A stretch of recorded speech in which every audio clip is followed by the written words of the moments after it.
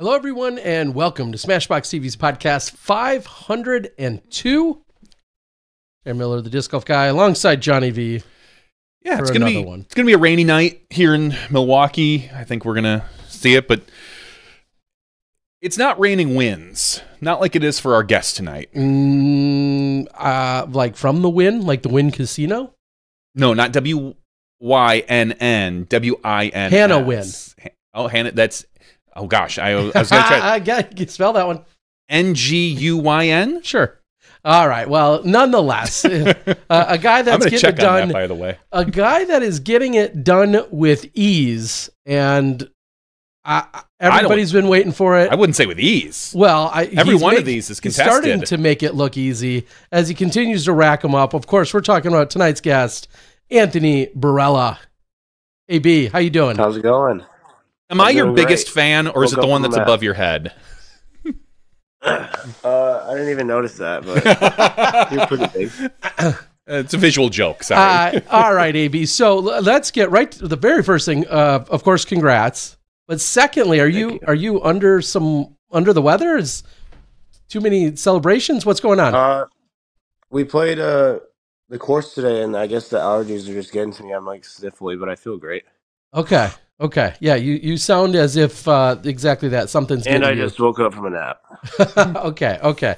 So, uh, well, here we are. It's been a, a little more than 48 hours. How does it feel to have your third Pro Tour win under your belt for this season? How, how are you feeling 48 hours later? Um, I don't know. Like we celebrated Sunday night, then we came out to Nashville, and we went out last night and just hung out, and then now it's time to lock in. Music City Open starts in two days, and I want to win this one too. How do, Damn, getting how is greedy. the celebration different from chess.com versus this one? Your first one, your first national or national tour, first Elite Series win versus your third Elite Series win. Is the celebration more subdued? Are they ramping up? Like by six wins, are we just going to see like two straight days of partying? I mean, how does that work for you? I mean, I don't know. I got to go home after chess.com and spend some time with my family and my girlfriend and my friends. So definitely celebrated that one a little bit more than this one. But the tournaments are just back to back now in the stretch of the season. So there's not a lot of time to celebrate. What does celebration in Jonesboro look like? Uh, literally just a crew of dudes just hanging out and having fun. Okay, okay. There's Uh, not really much to do there. well, and that, that's where I was thinking is, you know, I think about Brooksville, which uh, is a very small area, uh, you know, hour or so from Tampa, hour from Orlando or more. And I think of how tiny Brooksville is, and I think of uh, this one as well. Uh, here, here we are. I saw you in the press conference talking about the confidence and the monkey off your back and and what it's meant for you. Now we're at a like a record breaking pace. I mean, what you've done has been phenomenal, but now we're officially like talking records. Last year, three wins was already in player of the year talk.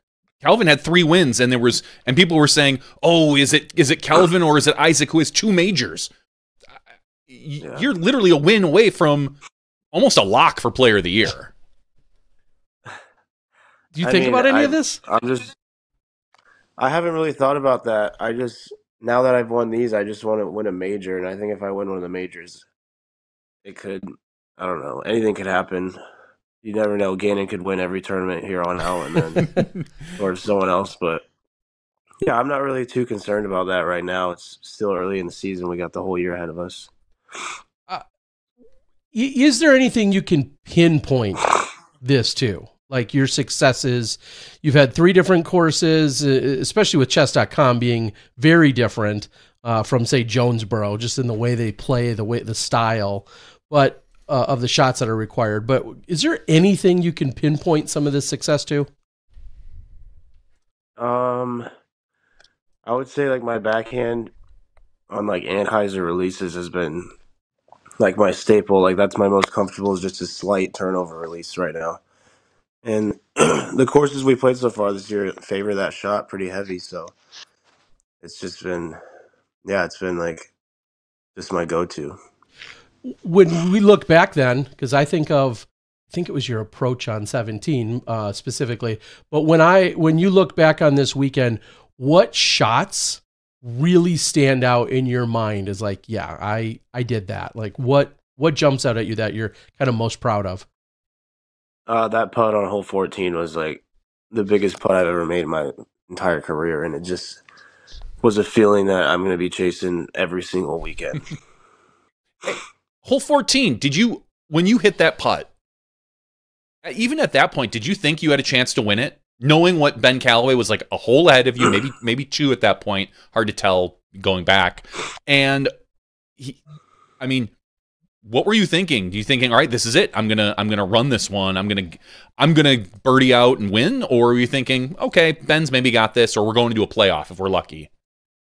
Yeah, I was. I thought that if I made that eagle putt and birdied out, I would have won the tournament. I that was just like my thought. I thought 24 or 25 under was going to be the score to win it, like with nine holes to play. But yeah, I mean. What does it take for a mental reset? Because as you were at hole 12, you were even for the round. I mean, just only yeah. two birdies, two bogeys to go on top of that to bring you at even.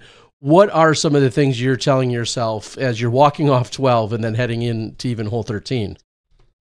Um, I wasn't really thinking after hole 12. I, I was like, oh, I lost this tournament. Like, it's not that drive just took, I just kind of like threw it. There wasn't really much to it put it close, made the putt, and then after hole 14, I was looking at the scores in the middle of the fairway, and then I think one of them parred and one of them birdied, and I and I was like, all right, if I can just try to keep pace with Calvin and catch him, like it's going to be close.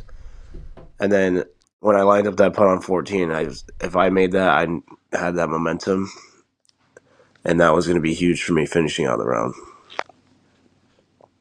How do you feel about you know one of the biggest storylines of the entire weekend? Certainly is the renumbering. Not not probably so much you know the the whole two redesign or the whole you know ten change up, but just the actual reorder and the renumbering of the course. Uh, how do you feel like that personally impacted you uh, at all this weekend? Um, I think it was it definitely helped me out because that shot on hole 18 is like something I'm super comfortable with. Just powering a spike hyzer over there and I've put I've tried that shot plenty of times to where like the only thing that could really mess it up is if there's like a ripping left to right crosswind, but that was never the case on that hole. But I do miss finishing on old 18. That's one of the best par fours I think we play in the world. Mm-hmm. But I still think that new old 18 is a good finish, and you can get the whole crowd down there, and it's right in that area where there's a lot of electrifying things happen. So I like the changes they did. Yeah, new hole 18, obviously over the over the little creek, the OB everywhere. We saw uh, quite a few people go out of bounds on that shot. Calvin went OB there. Ben Callaway went OB there, threw it out wide right.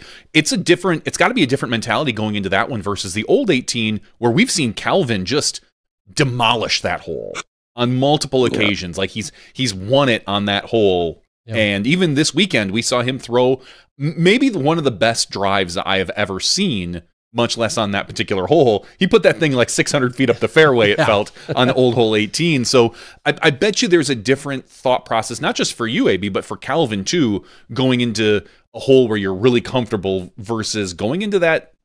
You know, the, a, a, little bit more of a touchy hole as far as OB goes. You know, it shouldn't be. It should be, like you said, a power hyzer. But we, we saw Calvin kind of clinch up a little bit and let go of it early. We saw Ben Callaway throw it way wide, and you put it deep, but very safe, and gave yourself a chance just to lay up for a three. what What was going through your mind? Uh, you know, when Ben released his. You know, he had a reaction. Calvin, you er- audibly heard a reaction out of him. I don't know if he saw Ben. Oh yeah, yeah, you didn't. Never yeah, mind yeah, never, I apologize. No, you didn't. Um, uh, well, then I'd, I'd ask the same of Calvin, though. You see Calvin, and we heard something out of him as well, though. What's going through your mind when you see that? Um, I was just thinking, like, in my head, I was just counting him to make that drop zone putt, and I was going to have that putt to win the tournament. Okay. So I was thinking, like, all right, this one 35 footer is just in between me and a win, and then once he missed the drop zone putt, I was like, okay, this is gonna be That's a huge relief because now I don't even have to make that putt and worry about a roll away. Uh-huh. But yeah, One, I don't, I don't know if it's a criticism, but someone posted today and said they're surprised there's not an OB deep line on on 18. Could you see them adding that? Do you would you encourage that? And, and I don't know at what what distance that is, but could you Yeah. see them adding an OB deep line? uh, I definitely could see it. I don't think it would change what I'm doing. I don't think Mhm. I can throw a hyzer far enough to where it would be a bad bad enough shot to be OB. But yeah, I don't think it would change much, honestly, for me. So- Uh, yeah, and granted, very few people, like you just said, uh, would have the power to not only get there, but then get, you know, at least you'd think they would put it at 50 or 60 or I would longer. hope so. Yeah, You know, they can't bring it in too tight, clearly, but it, it shouldn't come into play. However, uh, it, it was just a thought that I saw out there and like, yeah, what if what if there was a little bit more touch that you needed in in terms of Yeah. getting it over there? There's been some talk on all of your wins, it feels like. There's been a pretty consistent thing. And that's cupcake on the bag. Is- not at chess.com. No, he what, what yeah, he D- wasn't didn't- at chess, was he? Didn't he? Didn't he caddy No, for you? At, oh, I thought he caddied for you at the end of Uh. chess.com. Oh, well, that throws the whole thing. I was going to say, how does having him on the bag help? I mean, he he he's a player. He's a friend. He's you know, what is the conversation between you and he like on the course? Is it strategy? Is it just someone just to sit and you know chat with? Like, what? How do you how do you use Mr. Curtis? Yeah, we'll just like talk back and forth about like anything. Like we'll just be talking. He likes to tell me a lot about what he does in the holes, which is like I don't really care. It's like whatever. That's but- the worst caddy. Honestly, everybody, nobody He's wants to hear what you have. Well, Yeah, I'll throw- I hit the I'll band like, and it a rolled shot. OB here. cool. Yeah, I'll throw like a shot, and he's like, I threw one like 50 feet further. Than and I honestly, I just look at him like, what are you doing, bro? Like I'm playing right now, but it fires me up, and like that little back and forth banner just gets keeps me relaxed, just feeling like a just another casual round, and then helps me with the nerves and stuff like that. And it's just nice to not have to carry your own bag. uh, is clearly it's not intentional. But when I I saw him on the bag in round two, I went out and looked to confirm that he was in fact playing. He had shot. I think he shot one under, one over that particular round. Yeah, I mean, I, it, it like somewhere deep down, are you kind of hoping that he kind of has a bad day so that he can be there and, and be on your bag? I keep telling him I was like, I don't even want you to caddy for me anymore in these tournaments. Like you need to be playing while I'm playing. But he's just getting his stride. It's his first year on tour. It's it's rough for everyone. It's tough out here, but we'll get it figured out. Yeah, it, uh, it it's great seeing him out there, and I I know you know he struggled uh, in with his timing of an event, uh, you know, a couple events ago, and everything else. But like you said, it seems to have worked out that he's out there and on the bag for you and, and helping you out. If he wasn't there, do you have uh, a second pick for someone that you would love on the bag?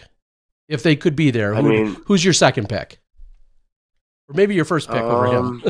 Um, Probably, I would like to have my girlfriend, but she doesn't carry the she doesn't carry the bag. She just like walks there. But Mhm. if I can't have them, then probably my dad. I like Okay. when he caddies for me. All right. Okay, that makes sense. I like is that. uh, Mr. McBeth allowed on the bag at all? I mean, we saw what happened last time. He was there. Not anymore. No. Never again. He's out. so that kind He's of fired. that kind of brings me to my next question. We always hear about players that have to go through struggles. I mean, Doss talks about it a lot. You know, you have to earn your stripes on tour. Do you think that's true? I mean, after we saw what happened at European Open, then you coming out here, do you think they're related? Would you be where you're at if you didn't have that hurdle, or do you think that is just a hurdle? I mean, w- pretend you never went over to Europe. Do you think you're having this season? Uh, no, honestly, I think that was like the. I don't know. I think that was like the pinnacle, and my I needed that to happen to propel me to the next step forward. And it just makes it for a better story too, like having that happen and then coming out and winning tournaments.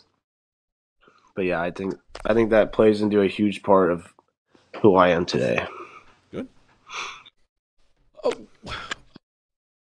A major of course these have been these uh, incredible elite series wins you were that close as we just talked about the major do, do you care what major it is? I mean, we have one in you know about ten days or so, but Yeah. any major are they all the same to you, or you just want one this year, or I is want. there one? I really, yeah, I want to win European Open. Honestly, like more than any tournament. I just, it's just such a crazy feeling to be out there with all those people watching, and then on such a prestigious course. And I just think that would be the greatest feeling ever if I could win that tournament. And ultimately, the sweetest revenge, uh, probably Yeah. in some sense as well. hmm Does that does that wrap up his uh, his Disney story? Like you know, Oh, yeah. just Yeah. he comes back the next year, takes after winning all season, or yeah, that's that's true. I mean, that's a that's a documentary in itself. So here you are getting more comfortable with the winner circle. Clearly, you know, playing some incredible golf. At what point are you still nervous? When when is that? At any point in this weekend, name a few times where you you felt legitimate nerves. Um, definitely the first, the front nine of that final round, I was pretty nervous. Is like, it, it was like the this was the first Elite Series that felt like real because it's on like a course I've played so many times. I think I've been here like four or five times, and it's just like so much history at the property, and that plays into a huge role for like nerves and stuff like that because I've been watching it since I was what 2016 I think it was the first year Jonesboro was a tournament. So I've just I've been watching the tournament every year it's happened, and just being there in the moment, it felt real. And then after that putt on 14, I kind of like lost all the nerves, and I was just pure confidence and motivation from then on. You and maybe that's a follow up. You haven't traditionally played well at that property.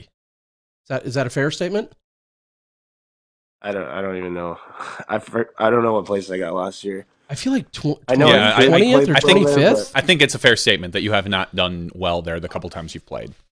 Yeah, Um, so I don't know. yeah, now now now I uh, I want to go look. I, I remember that was some blurb somewhere within our kind of pre production meeting is seeing that. Uh, I, I think twentieth is the best that you had finished there. What what was it maybe in prior years then? You know, as you said, they're they're almost you can't even remember. What do you feel like the difference was in prior year prior years when you didn't find success? Um, I don't know. I just I feel like I'm a completely new player. It's like stepping out on these courses is like I have a whole new mindset and repertoire. I feel like in my game to where I can birdie any hole, and it just like I haven't had that confidence in the past. And I think that's a huge difference between me this year and last year. Was that a lot of practice this off season? I mean, is that what what it comes down to? Is just the putting the actually putting the reps in? Yeah, and then after chess.com, like I didn't even go into chess.com. I'm thinking I was gonna win the tournament, but after it happened, it's like it's like now every tournament I'm going into it, I'm thinking like, oh, I want to win this. I can do this again and again. And it's just like a crazy. It's just crazy how that one win can just completely change my entire mindset for this game. even comparing whether it's last year or pre-chess.com, whatever the case might be, whenever whatever time you want to use it, uh, go back to what what do you feel like is the the biggest thing you've fixed or adjust physically? You you just talked about confidence, and and now you can build on that, but physically. Uh, on the course, like what are any of the changes you've implemented? Style, technique, form, whatever. Anything? Um, honestly, no. I feel like I still have the same putting form as last year, and then my drives look the same. My sidearms is just all mental. I I did a lot of weight training in the off season, trying to get stronger, and then like some speed and agility stuff just to be healthier. And then I don't know. I just feel a lot better and a lot more confident in myself this year. you, you roll with um, a a lot of our touring pros, and and I guess I'm I'm specifically thinking of time spent in Arizona, uh, the likes of Parker Welck, who's out there, obviously Ricky Wysocki, Cupcake was over in Arizona a handful of times. All these different people, Ezra.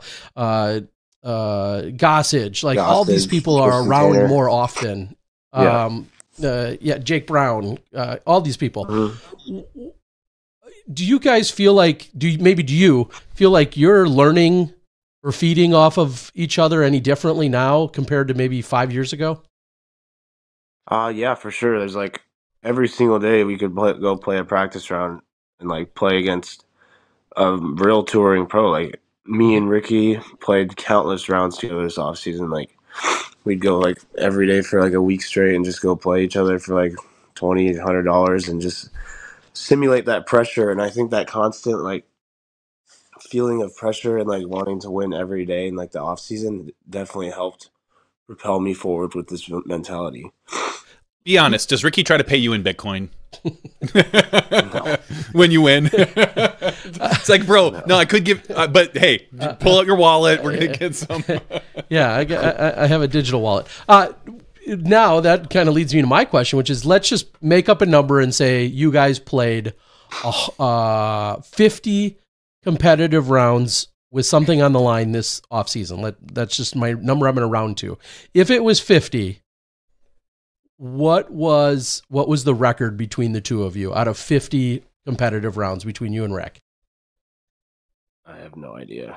It's honestly what? probably pretty even. Okay. I mean, it wasn't yeah lopsided at all. You're saying? No, it was pretty even. I, yeah, 25 and 25. okay. Okay. So, uh, yeah, you guys were pretty much right up. Now, last week we had a discussion, and so has the rest of the internet, about specifically a lot of dumb things, but one was rivalry, the, the sportsmanship, the gamesmanship between some of our players. Johnny here, for instance, was suggesting that we see a little more tenacity, maybe a little bit more ferociousness, and maybe just a little more angst uh, or or battle. Uh, like, well, I, I, basically my my take was that the sport seemed a little I don't say more interesting, but there was more excitement when we had like Paul versus Ricky. And yeah. I said, right now our two top players are Anthony Barela and Gannon Buhr. But there and there doesn't seem to be any of that chippiness. There's no, you know, it's all friendly. We saw on Gannon Buhr congratulate you on social media, and it's very friendly. Yeah. And I said, I, I would like to see, and maybe it's not you two, maybe it's two other people, but I'm picking the two guys right now that are dominating our sport. I would love to see more competitive fire between the two of you. A little less friendliness, a little like, mm. I, I think that could bring more I don't say more fun, but it just it might bring more interest to different people and sides. Do you do you feel like a, a, a, competitive rivalry is a good thing, or would you do you like it being more chummy? Uh, I think having a rivalry would be good for everything, like good for the sport, it'd be interesting. So I don't know, I might might start talking some crap about them. There you go. We'll see. I, and that's kind of what I said. Is I feel like there almost has to be a situation where somebody is somewhat dickish to the other person in some capacity on or off the course. Yeah. and i feel like that's how we would break through this this you know friendly bro mentality into like hey i, th- I think i kind of dislike you and i do really want to beat you. So i mean do you want to throw any shots or or yeah. uh, take any shots right now and start talking some shit or like because we're here for it. I don't have anything to say right now but we'll see. I'll see him this week and We'll start. We'll start a little bit thing. We'll there see. you go. Get a little chippy on social media. Start with social media, yeah. and then you know work your way up, and finally, you know. Like, did you guys see Gannon's shoes this week? I mean, what was that clown doing, or whatever? I mean, you got to start. Like, if you're going to start ripping on him, where where do you think you're going to start? With what? With what? I have no idea where to even start. Oh, I think I think you uh, st- I think you start making fun of his logo. Like it's just a knockoff AB logo, but it's like upside down. Uh, whatever. Okay, Gannon. yeah, I don't know. I'll think of something. Uh, this brings up another question because I love how uh, social media works. Um, my question is: Someone suggested, or or flat out, I think outright claimed, that you hate the nickname AB. What? See, people don't know what the hell they're talking about. I I know. But I, I, I figured like I would go I ahead like and get it on record. Do, do you, in any way, second guess anyone calling you AB? No, never. My parents have been calling me AB since I was like three years old. So it's just like, it's just like someone says AB, I think they're talking to me like every time. So mm-hmm. yeah, I don't have any hate at all towards that. But some of my buddies like to call me Tony, and I, that just doesn't seem right to me. But yeah, I think Gossage, uh, seemingly, at least from when I've been around you guys, it feels like Gossage really uh, uh, kind of has latched yeah, onto that likes, more than he anyone. likes calling me Tony. Yeah. and it sounds so damn weird. I, I, when I'm in the room and he says that, I'm like, what is. Well, I mean, I, we all have different nicknames for different people. Like my family calls me, they call me John John. They've called me it forever since I was a tiny little baby. And to this day, everyone, in, when we go to family hangouts, everyone calls me that. JV, Johnny V, like a thousand nicknames. Terry T Bear, Yeah. like everybody kind of has click, you know, li- little things. I don't know. Okay, well, I just I wanted to put it out there because you know it's the internet, and I just remember thinking how stupid it really I'm, sounded. I'm gonna make a point next time Yeah, you that's guys play ridiculous. together online, you and uh, Gossage, and we're gonna have we're gonna have Tony and it'll be Tony Tony Barela and what's one for Aaron? I don't know. you just call him Goss. Goss all the time, don't you? Goss. hmm Yeah. All Does he like that? I don't know. He, everyone was calling him Goose, and I was like, I, I'm just gonna call you Goss because it Yes. just sounds funnier. Yeah, I'll, I'll talk to Mo about that. We'll get that happening on the broadcast. Uh, yeah. Obviously, a long stretch. You know, you said you went home after chess.com. Here we are. You know, I know you had kind of officially off the weekend of uh, when the U.S. women's was happening. Um, but now, you know, three straight weekends leading you right into Northwood Black and the Champions Cup. When, when is your next break? What, what do these next few weekends look like for you? Um, yeah, I'm playing Music City, then straight to Champions Cup, and then straight to DDO, and then we have a week off. Mm-hmm. So I'll be going back to Arizona. Then we're going to the West Coast swing after that. Okay, so pretty much that one week. There's you know there's a, a Yeah. 303 that's a Q series. There's a the Las Vegas Challenge. You know, there's a couple other events, but not from the Pro Tour perspective. And then ultimately you get out there for OTB and you're ready to go again. So that one week off. and you're registered for Vegas. You're you plan on playing that? Oh. I am registered. I don't. I don't know if I'm gonna play yet. Yeah, but- because then you don't get your week off. I know that's what I was thinking. I was you said the week off, and I looked and I'm like, well, maybe there's something we don't know, Yeah. or maybe like a yeah a newer thing. I don't know. We'll see. I mean, this guy's making too much money. He doesn't need to show up to these non these non Pro Tour events uh, anymore D- for a four day event. Like that's that's a that's a big commitment. I Yeah, mean, that's a lot for an Mhm. A tier. But it is in Vegas though, and Vegas is pretty fun. yeah. So I heard. That's the rumor. Yeah. uh, uh, we'll we'll sidebar for a moment then. Uh, you know, I've seen you in uh, in uh, the Peoria area and a few of the other places. Where where is name some of your favorite locations that aren't necessarily based on the play? Some of the places you love to visit. Um.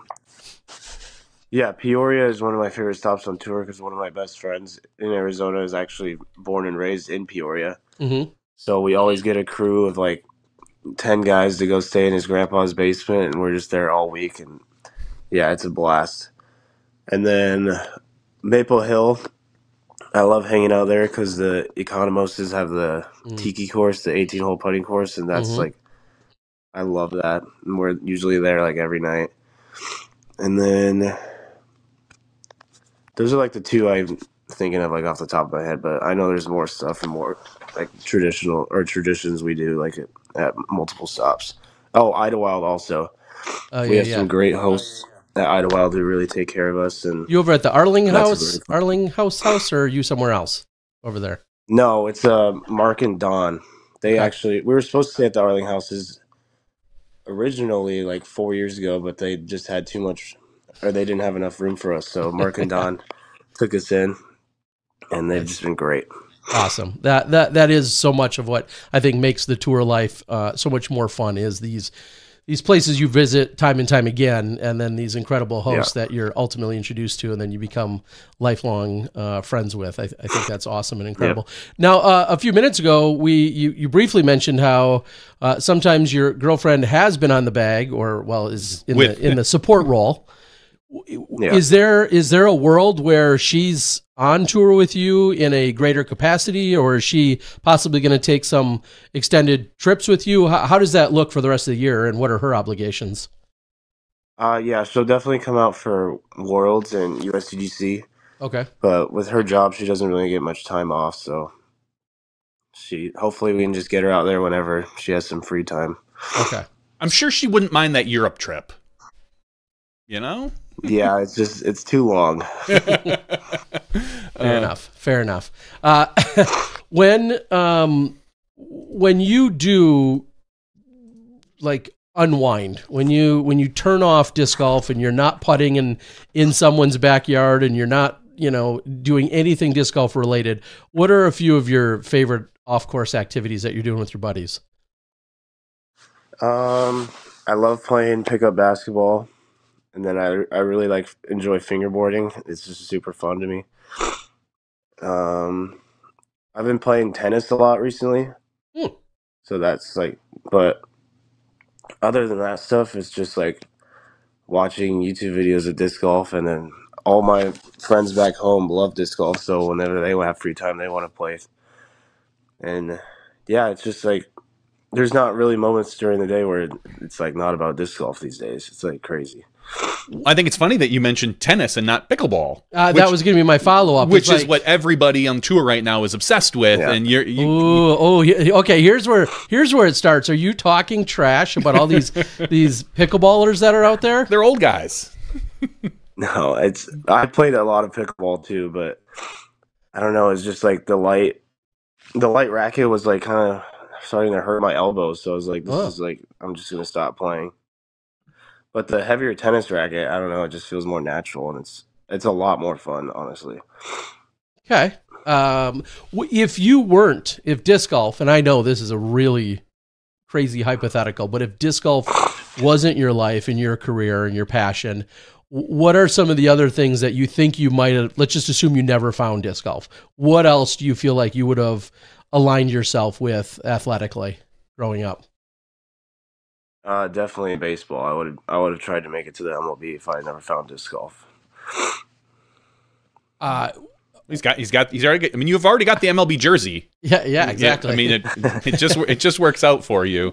What um what is it about baseball um in terms of the game and the intrigue and everything else what specifically is it about baseball Yeah, I don't I don't know. It's just been like before I can even remember, I've just always been playing like organized baseball leagues and stuff like that growing up and then it just like became like an everyday thing for me, like disc golf and I just love baseball. I love to watch it and I love to play it and it was just finding that passion and when that passion switched from baseball to disc golf, I was just hundred percent in for disc golf. So and what, when was that Oh, sorry. No, you're good. Um, it was probably when I was 16. I broke my arm at a trampoline park, my left arm, Ooh. and so I was like, "All right, like I can't play baseball this season." And then that was like the turning point where I was like, "Okay, like it's time to start focusing on disc golf because I could throw with like my sling on and stuff." And that was the switch where I never went back to baseball and just started playing disc golf. I was going to say what position in baseball were you primarily? Were you a pitcher or somewhere else? Yeah, I was a pitcher. Okay, that's. I, I think it makes the most sense for a lot of our players. It feels like, but you know, Yeah. so this we we've got uh, Music City coming up. What's it going to take for you to win Music City? Like looking at that course, what are the skills required for Music City that you feel are, are, are important in order for you to win? Um, last year at this tournament, I felt like it was just like about power, but this year with the changes they've made, I just played a practice round there. It's like a lot of placement shots now, so it's just being accurate. And if the wind gets up, about committing to your shots. And the problem I've been having recently is like early release and just not committing. And if I think I think if I commit to every single shot this week and just bring that confidence and drill all my circle one putts, I should be at least able to put myself in contention. You know as you said you just did a practice round and that makes me think about you your buddies and then also some of the videos that you've been putting out give a pull back the curtain a little bit to your youtube growing and your career and and and maybe even what you're you feel like you're truly trying to accomplish there Uh, yeah, YouTube is just.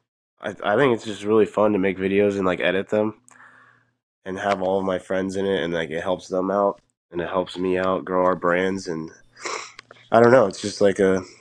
I've always enjoyed like making YouTube videos like that. Like I used to try to make videos when I was a kid, but you'll never find those. But it's just been like Are they out there? Are, Yeah, well, here's the question: Are they able to be found? Like, are they are they somewhere No. out there, Are or have private, or did you you have delete you them? have you gotten rid of them? I deleted them all. Yeah. Oh.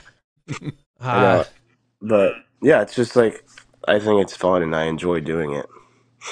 Do you have a uh, like an end goal? I mean, we, you could be, and I say that because you see obviously what a Simon has done, and you've seen Yuli, and you've seen Drew, and you've seen so many of these others, Alden Harris. You see all these different styles, and everybody have their kind of different take on it. Do you feel like you have like an ultimately a goal in any capacity? Um, I don't know. Like a goal is like I want people to just know like me better, I guess, and just Mhm. get my personality out there more. And I think those YouTube videos really show who I am as a person and just what it's like to kind of like hang around like disc golfers when they're just playing like a casual round. And I think that stuff's cool. And I've I've always looked for content like that in the disc golf world, but Do- now I can just create my own, and I just have a blast doing it. Do you have a favorite disc golf YouTuber? Like, whose videos when you when they come out, you're like, oh, sweet, there's a this person video. Um, I like the disc golf world. Their videos are super. They're like straight to the point and they're quick and yeah, I just love watching them. I think what those guys are doing is great. Okay. Oh, you talked about building your brand. We've seen th- obviously three wins, five events. Um, have you noticed a change in, we'll say, the social media that comes from your first win versus your most recent win at Jonesboro? Like, was there a big flow for that first win? Congratulations, got that monkey off your back versus the third one? Or do you feel like you're now building a fan base that, you know, if, if we get to six wins, it's going to be two days of alerts? Yeah, I mean, I don't really know. It's just the mychess.com post. I got like eleven thousand likes, and that's like the most I've ever gotten. And I think I gained a lot of fans after that tournament, and it's just about maintaining them now. Like they're all out here, and my fans want me to win every week, but that's going to be really tough. It's a lot of talent out there. But yeah, social media, it's definitely been growing, and yeah, I'm gaining followers like crazy. It's unreal. does that then and maybe you can or can't share does that turn into sales for you like d- is discraft calling you up right now and be like bro we gotta burn more of these discs let's go let's go like do you do you see a, a big influx of anthony barela gear being sold out of I don't, I don't have have they released the new i don't know if discraft has done yeah they've got their they've got their tour series Yeah, out yeah, you're old. That's old news. bro. Okay, yeah, Yeah. yeah. I, could, I, I couldn't remember, but I know they also have specific pages for each player with updates. I mean, Yeah. are you are you seeing a lot of that transfer into uh, Anthony Barela gear out there? Yeah, for sure. Like after I won chess.com, I went to all the tournaments, Waco, Austin, and like there's always just people wearing my jerseys, and it's like a it's the craziest feeling. I always try to go up there and give them knuckles and tell them I appreciate them for supporting me. And yeah, I've seen a lot more AB hats and AB jerseys, and it's just a it's a dream come true. Have you signed any jerseys? Yes, Good, I yeah. have 'cause a lot. because you're talking about baseball, and I always just imagine a baseball player who signs the back of their jersey uh, right by their name for their fans, and I think it's kind of Yeah. cool. That would be kind of cool to have the AB, and maybe maybe it's already this way. The AB jersey customizable with your own name on the back, like we can Ooh. like we can see with baseball players. I mean, I could get a number seven or fifteen with my name on it. I, I would, would like be the cool. AB jersey maybe with my own name on it. that could be That would be cool. I don't. Yeah, that seems like a lot of work. I don't That is- really know how see, that would Yeah, I was just gonna say I'm gonna Well, check my embroidery press. Tonight. Yeah, that's what we gotta- Those will be out tomorrow. Listen, a, a few more wins, Anthony, and you can ask for anything you want. You can do whatever you want. that that leads me to a, a, a question in this realm, which is, where are you with your Discraft contract? As in, is it is it up at the end of 2024? Well, where where are you within your contract right now? Yeah, it's uh it'll be up this year. So this is my last year on the contract. How convenient. Yeah, show me the money. Yeah. Yeah, that that's got to feel pretty good knowing. Obviously, you've already had these accomplishments this year. You're looking to just build on those and stack on top of mm-hmm. it. But n- not ev- any year's a good year to have a breakout season and this incredible start. But a contract Yeah. season year is even better. Yeah. I'm not I'm not super concerned with that right now. I'm Sure. really just locked in with the season and just trying to play my best. Awesome. Yeah, you don't have to worry about that till like October. Yeah. Wait, wait for October. Yeah, when you got two or three majors under your belt, and then you're like, eh, show me that. Oh, that would be really nice. yeah, it would. Yeah, it would. Uh. awesome. Uh, we know you have other obligations. We certainly want to respect those, and, and we appreciate that. Uh, Yeah. So before we let you go, uh, first of all, give us give us how people can and should follow you, and and ways that they can support you and your sponsors, all that stuff. Give us give us the full spiel. Yeah, my Instagram is Anthony Barela one one, so you can follow me there. And then my YouTube, I think it's just if you type in Anthony Barela, you should be able to find it. And then teamdiscraft.com if you want to buy a jersey, they're restocking on Friday, I believe. So you should be able to get. I think all of them will be available now. But yeah, that's how you can support me. Go grab a tour series disc, Venom. Okay. Uh, and then is there uh, is there anything else that we didn't cover that you'd love to throw out into the to the ether there? Anything else that we didn't ask you about, or anything else you want to share or talk about? Uh, yeah. Um, you were there. You were there, Terry, when I won 2015 Am Worlds. Where were you this year?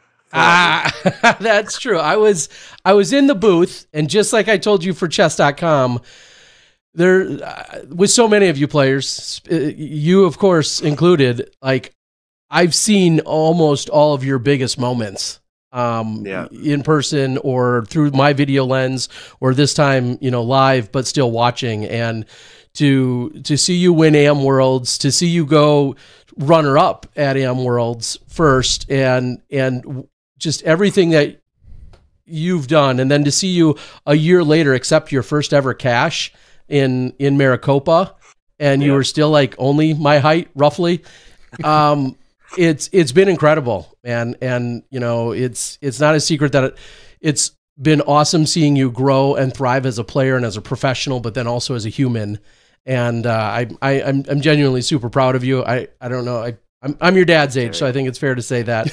Uh, you, it's uh it's been this unbelievable jour- uh, journey, and I'm not unique when I say it wasn't a matter of if you would win tournaments; it was just a matter of when.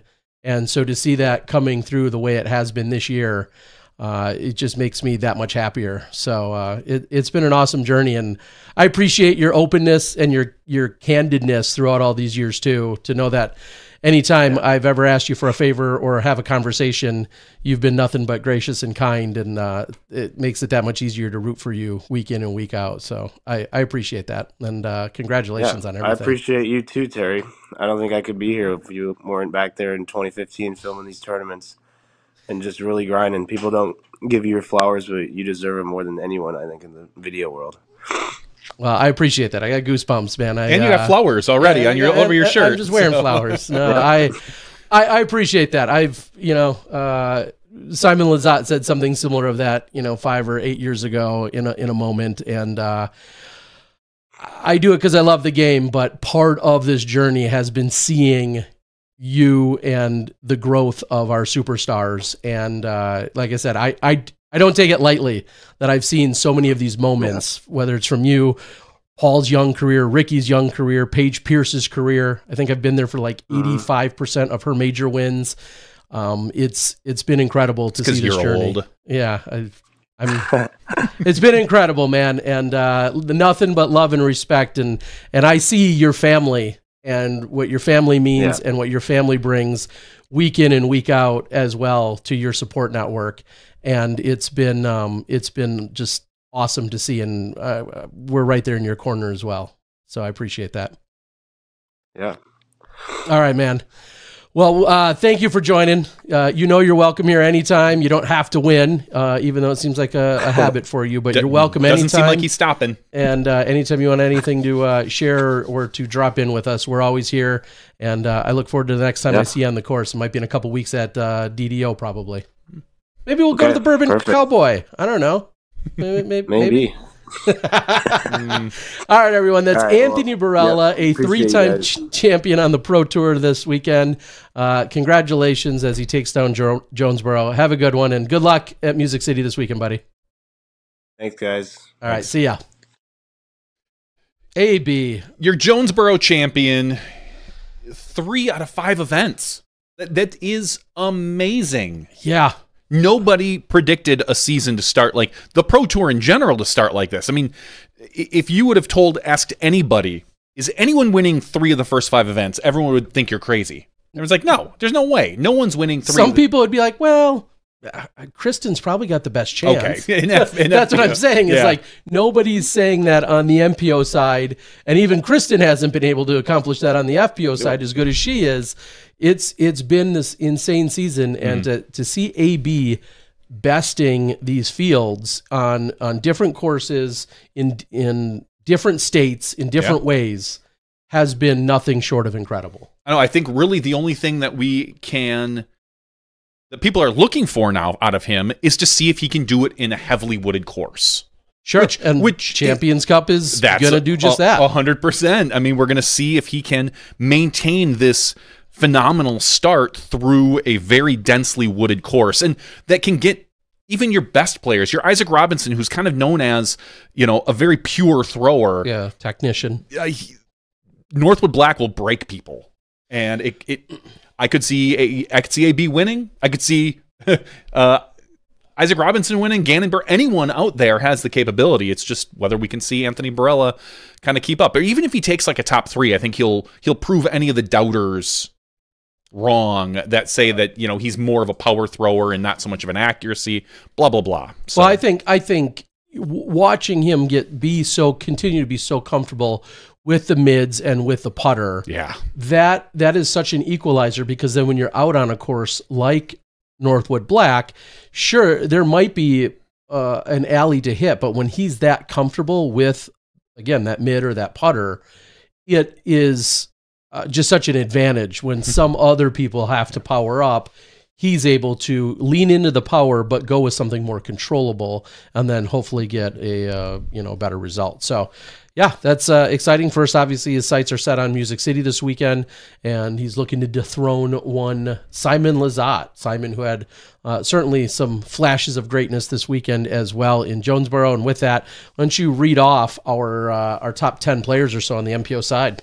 Copy that, Terry. As we said, Anthony Barela, your champion, 24 under par, wins this one uh, on the final hole, more or less. Uh, he he didn't have to birdie it.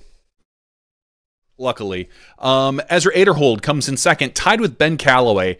Ben, my heart goes out to Ben because I truly thought we were going to go see some extra holes, and I thought Ben had a really good chance at winning this and then those last two holes just really bit him. He he he skipped just a little late on 17, slid into the OB, and then on 18 just flat out shanked it. Just threw it way wide. It just I don't know if it was a a, a, a nerves thing, a misplay of the wind, just missed his angle on the throw. Ben's a very uh, one of our best throwers off the tee. So to see him do it, do that was actually a little bit of a surprise to me.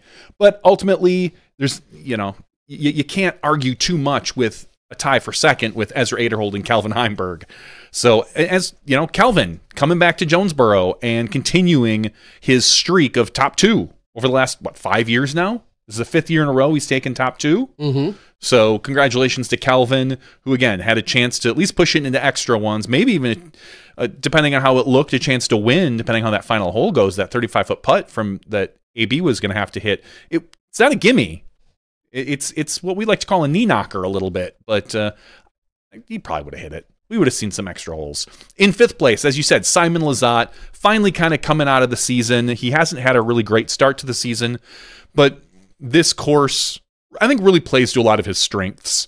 It's there wasn't Jonesboro. There's not a lot of danger to get into, as long as you keep Most of the holes. most of the holes. You're right. Mo- I mean, most You're- of the holes. right, it, it, it's it's just a straight on fairway. Like hit this fairway, hyzer, anhyzer, whatever you need to do. It's not like you you need to carve lines. And I feel like well, Simon can carve lines. This type of course really is beneficial for Simon, um, unless he's throwing uh, 600 feet in the air and only 50 feet in front of him. That's those are tough ones. Yeah. as we saw him do on on uh, one of the holes out there on that final round.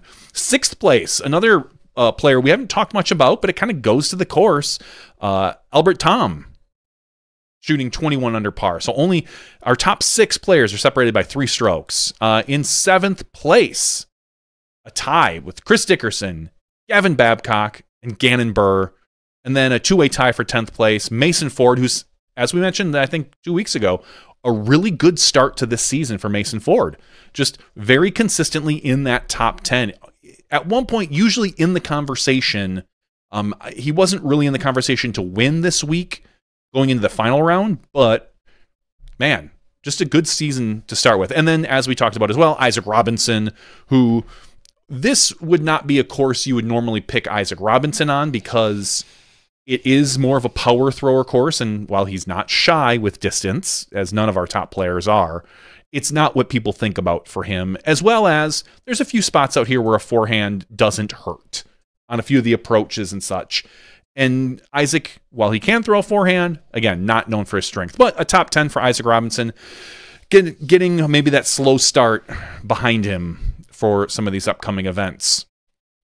We're going to move over to FPO now. We're going to talk about Kristin Tattar, who won this after the first round, basically. I think uh, the, after her after the third round, she shook hands and said, "Thanks for showing up for rounds two and three, ladies." Uh, just she came out with a, a a 1044 rated first round. The next closest was a 999. I'm sorry, 999 999. Yeah, I was right the first time. 999. So she best 50 points. 50 point rating swing. 45. Just six strokes. Yeah. I mean, and at that point, I think everyone knew, as we said, Jonesboro isn't the type of course where you're usually getting into a ton of trouble. Uh, no, uh, Like, the, the, the wind the wind tried to do what it could Correct. for all of our players this weekend, and it certainly wreaked havoc on a number of throws. Yeah. And then the side slopes and and the baskets on the hills also are looming. I, when we did the quick math, there are just two holes that have flat flat greens. Two, only two where you're almost for sure not going to roll away. And obviously, things can still happen there, but there's only two flat greens out of 18 on that course. So every single putt has the chance, some holes more than others, of course, but every single chance, every single putt has the chance to hit a basket or underneath the basket and then get up and roll away 20, 30, 50, 100 feet. Only two flat. Um, Well, and that's one of the advan not that she took this advantage, but one of the advantages of being out so far ahead, you don't have to run at those if you don't want to. yeah. And granted, she still did, but and she usually hit them. The players that are usually picking up and rolling aren't the ones who are laying up. They're the ones who are hitting basket, the disc is hitting the ground, and it's rolling. Sometimes that's off the tee if you're Kelvin. sometimes it's Yeah. a, sometimes it's from the putts. So Kristin Tattar was just in control the entire tournament. Um, second place, Holyn Handley coming out with a 13 under par. That's a nine stroke difference between her and KT. Um, third place, Evelina Salonen at 12 under. Then there was a little drop. Fourth place, Maria Oliva, who a, a name we haven't really spoken about when it comes to the leaderboard this year. I know we talked a little bit about her socials and some of the issues she was having earlier in the season, but in fifth place, a three-way tie between Eliezra Midtlyng, Heidi Laine, and Luke Lorenzen. So Lorenzen, Lorenzen, Lorenzen. Lorenzen, Luke Lorenzen. Um, Eliezra, uh, I keep harping on this. Going back to the course, this is a perfect course for Eliezra. A powers, a power throwers course, and that's what she is. You know, she's she's young. She's still working on getting some of those uh, touch shots that we talked about with AB, where you know finding that good mid range, finding that putter shot. Eliezra is 100 miles an hour, and this course suits that. It, it doesn't, you know, it, it's not going to get you a win probably, but it gets you into the top 10. So Eliezra in fifth place, taking home $1,240. Eighth place, Rebecca Cox, who again has had a kind of a quiet but good start to the season. Ninth place, Stacy Kiefer. And a three way tie for 10th place, Scoggins, Haley King, and Silva Saarinen. So uh, Ohn Scoggins having maybe an off season, or not off season, sorry, you know, a little off season. You know, she dropped whatever. She hasn't got it. She only got one win this year. Jeez, no, uh, an off weekend. Just kind of you know, losing to Kristin Tattar by 19 strokes just doesn't feel very Ohn like. But again, you might maybe rack that up to the course a little bit. She had a really rough first round. It could have been some of the wind. It's just anything. Could just be an off weekend for her. I mean, you, there's she could come out this weekend at uh, and and and win, and no one would be shocked. So that's that's kind of Ohn Scoggins, and it's really we'll get into this a little bit more, but it was really difficult to find out why she was having struggles when she wasn't getting any stats on her card.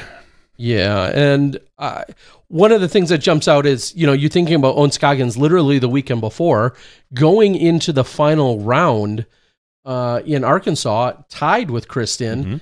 Uh, so s- seemingly things are fine in that sense. So whatever the case was specifically for Ohn, uh, probably is a little bit of a of, of an anomaly because obviously you look at her rating, you look at where she's been playing this year, the consistency that she's had in all sorts of different courses, and it was a very out of the ordinary weekend and experience for Ohn Scoggins out on the course. Like that's there's that's all you can say about it in that sense. Like that it's I mean there's no other sugarcoating it in mm-hmm. terms of she had an off weekend. Now to what specifically we can pinpoint that to that I'm not sure of. Uh, but it was also no surprise that as soon as she was done with her round, she came back, came back to the card who was on hole 14, uh, playing over the water. You saw her join. I. It was so funny. I even said it. I think on the broadcast. Uh, there was a shot, and then I heard some applause of sorts or some kind of uh, jubilation, and I thought that sounds like Ohn. And then sure, sure enough, like a minute later, we saw her in frame. I'm like, okay, yeah, Ohn's out there, and that means she came back after her round to see how it was going uh, down on the rest of the card. A little surprising when you know, n- not that she's the type to get upset and leave the course, but she is the type to be the first one to try to get to the next event. Yeah, and I even made that reference, thinking that maybe uh, she would be done, definitely not finishing on the podium in that sense. And then I thought, wow, she's she's the type that would would try and get the three or five hours over to uh, Northwood Black and get half a round in. Like she would play nine or eighteen holes or as many holes as time would allow. Up and then drive to Northwood- Music City. and that's where I got know. myself twisted around. It's like, oh I no, no, no, that. they they do still have a tournament before the you know this major. So, but then I thought, yeah, she just the same would drive over to uh to drive over to Nashville and try and get a round in. Like that's she's done that more than once. That on a Sunday she'll drive already, get to the next course to then try and get holes in already on on Sunday night. So. Uh, it didn't appear to be the case from what we could tell. We know she stuck around for a little while at least. Yeah, so I mean that's she's in good spirits. Clearly, there's nothing physically wrong with her. Just as someone said, sometimes you have an off week. Exactly, and that that just speaks to the how high she's raised her own floor or raised her own bar in that we just expect to see her in the top 3 You know, or contending for a win just about every single weekend here. I mean, she is what the second highest rated player in the entire division. So it it when you're not in the top three or top five uh, with the dominance she has showed in the past, it does uh, surprise a few of us. So um, good to see. Uh, that uh, seemingly everything's all right. Uh, real quick, I know we we you know you just talked about him. I'm not going to read this entire thing, but unfortunately, very unfortunately, uh, Chris Dickerson had made a post just two hours ago, uh, and I'm going to put a link to it in the chat for anyone that does want to go and read it. You can find it on either his Facebook or uh, on his Instagram. Uh, but it starts out by saying, after having two radiologists and an orthopedic surgeon review my MRI im- images, there are a lot of findings. I have moderate to, se- to severe osteoarthritis in my hip. Hmm. It's bad enough that it's caused multiple bone spurs. I also have avascular necrosis. This means there's a part of my hip that is not getting blood flow. As a result of that, my bone is dying. The necrosis is just starting and it's very tiny and localized right now. My hip is apparently deformed enough that they asked if I was born with a birth defect or had been in a major car accident. I've never had any issues with my hip until the T-pad slip at DGPT Championship on October. After rehabbing it all off season, I felt 90% better. And he goes on to talk about this and and later he uses the phrase hip replacement uh, until I'm 50, uh, making appointments, trying to reach out. Uh, scroll down more, it says this shouldn't have any extreme impacts on my disc golf career. The biggest thing right now are keeping blood flow to the area, continuing PT to strengthen my muscles around the hip, and finding a, spe- a specialist for alternate therapies.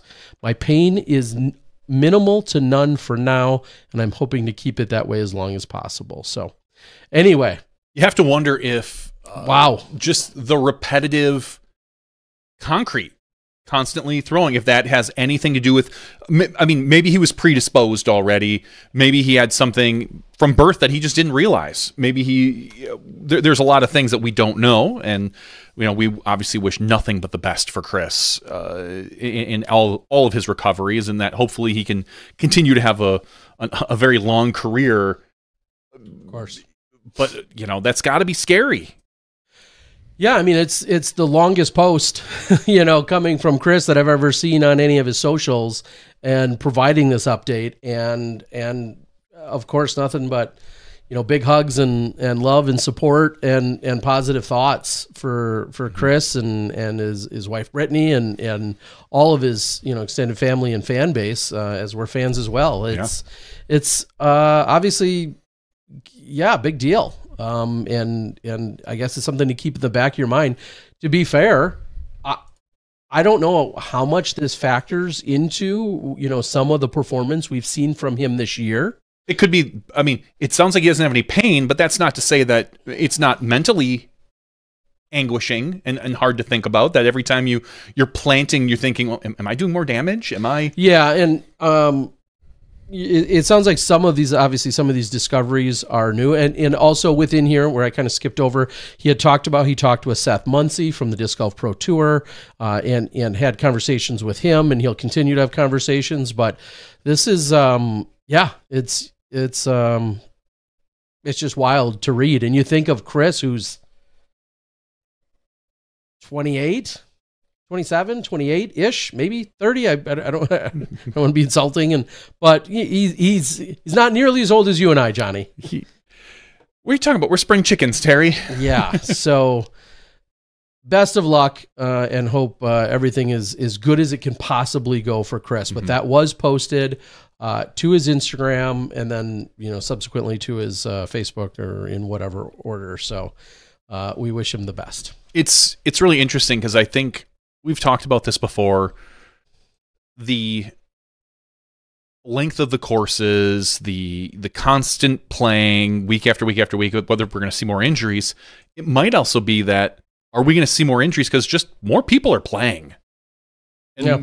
you know, i- i- is is it not the the actual courses and everything, but you know, when you had 30 you know, when we were younger and you had 30 regular touring players, if one of them got hurt, you're like, ah, whatever, one out of 30. Well, now that we've got 250 touring players, when it's five of them or six or seven of them that, that are that are injured, it maybe feels like more, but statistically, maybe it's not. Maybe it's just I, I don't know. It's just something to think about. Yeah.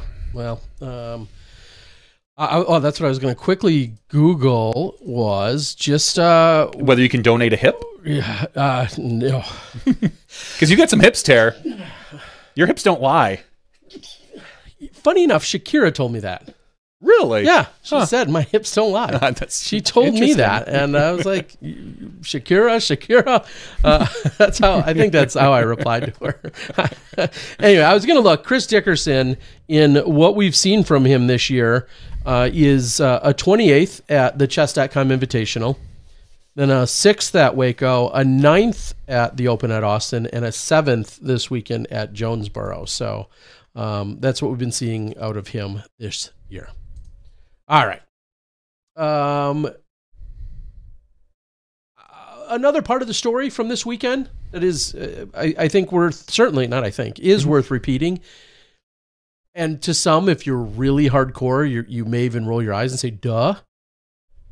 Our FPO international contingency continues to provide, to show up, to show out, to be so many of our stars, obviously Kristin leading that way, but Evelina proving she's figuring things out.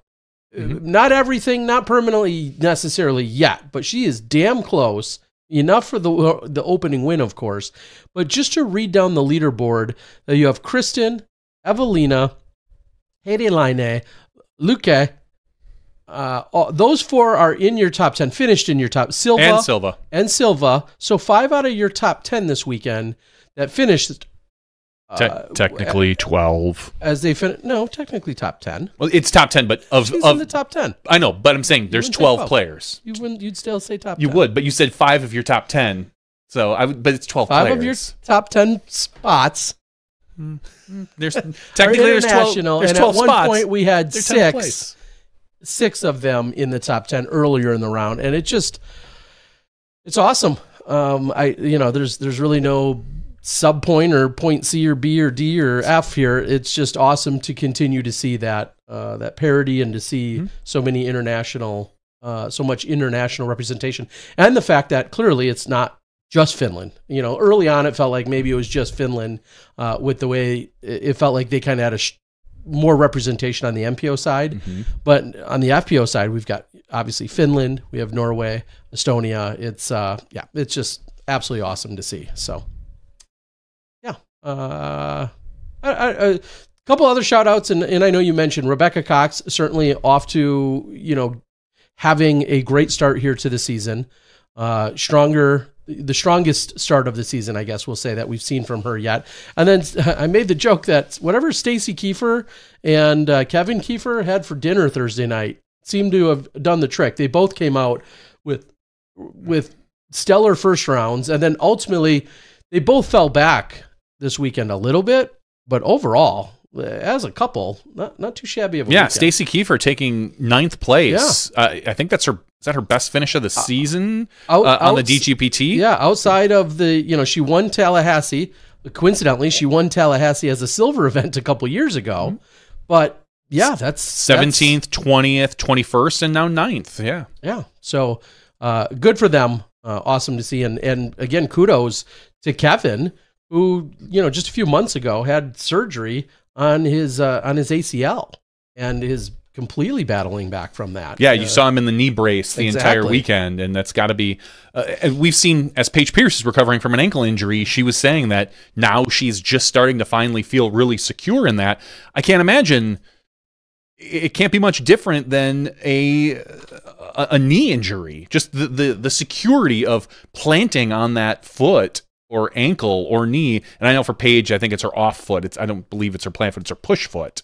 Um, but still, either way, it's it's it's great to see that injuries can't keep us down. No. So, uh, yeah, those are a couple of the I, I don't know, quick quick comments and thoughts that I had when I saw some of our players uh, out there this weekend. Um, a few fresh faces, and then you would be remiss to if we're in that category or in that conversation. Emily Beach having her best uh, tournament here so far in the uh, early goings of the season, so that was awesome to see as well. And uh, hopefully, we'll be seeing more. Uh, if you rewind, some of you may or may not be all that familiar with Emily Beach. We were there for the breakout event and moment GBO. that Emily Beach had a few years ago at GBO. That's when we saw her for the first time on live coverage. That was, She was like 16. I was going to say, that was 20, 2015, 2016. Yeah, I think she was like 16 or 17 years old. She was young. I didn't, I didn't realize she was that young. I think. okay, possibly. I, I think she was. okay, either way. Uh, May- maybe 17. We'll see. we But- that's when we kind of initially saw her though and um yeah so just thinking dynamic disc slash gbo whatever uh, is now right around the corner as well and and thinking some people may not have necessarily known or recognized emily um this weekend but good to see her out there and uh, she fell back a little during the f- what the final round but Let's talk a little bit about Jonesboro. Just uh, some of the hurdles Okay. that that we saw this weekend. Scoring was not necessarily as detailed as some people wanted it to be. mm, um, the statistics, the the things that a lot of us are looking for in telling a story. They lacked scorers this weekend. It feels like volunteers, whatever the the issue is.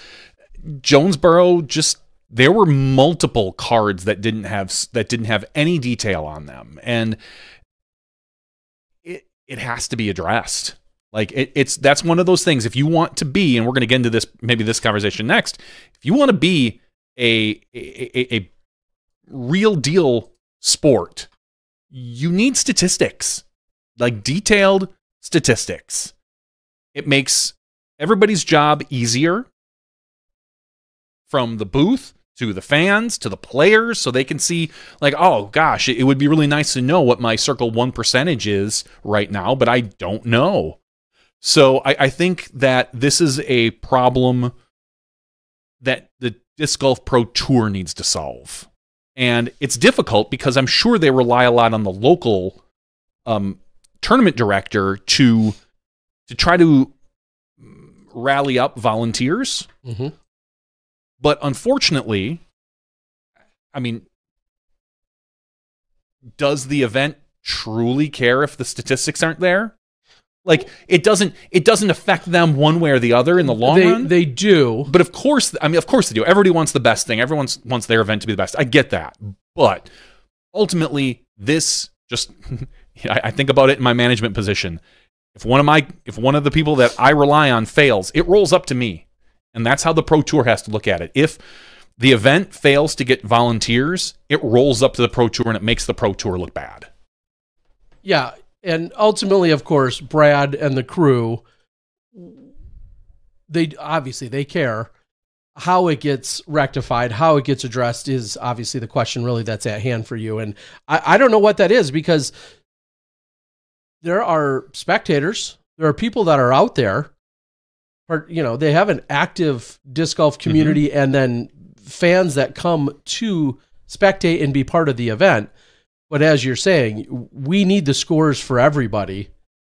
And I understand that sometimes the toughest scorekeeping might be the first card on Sunday morning Mm. of of FPO because they're they might be 30 strokes back and they are not the household names and it's a 7:30, you know, start, whatever.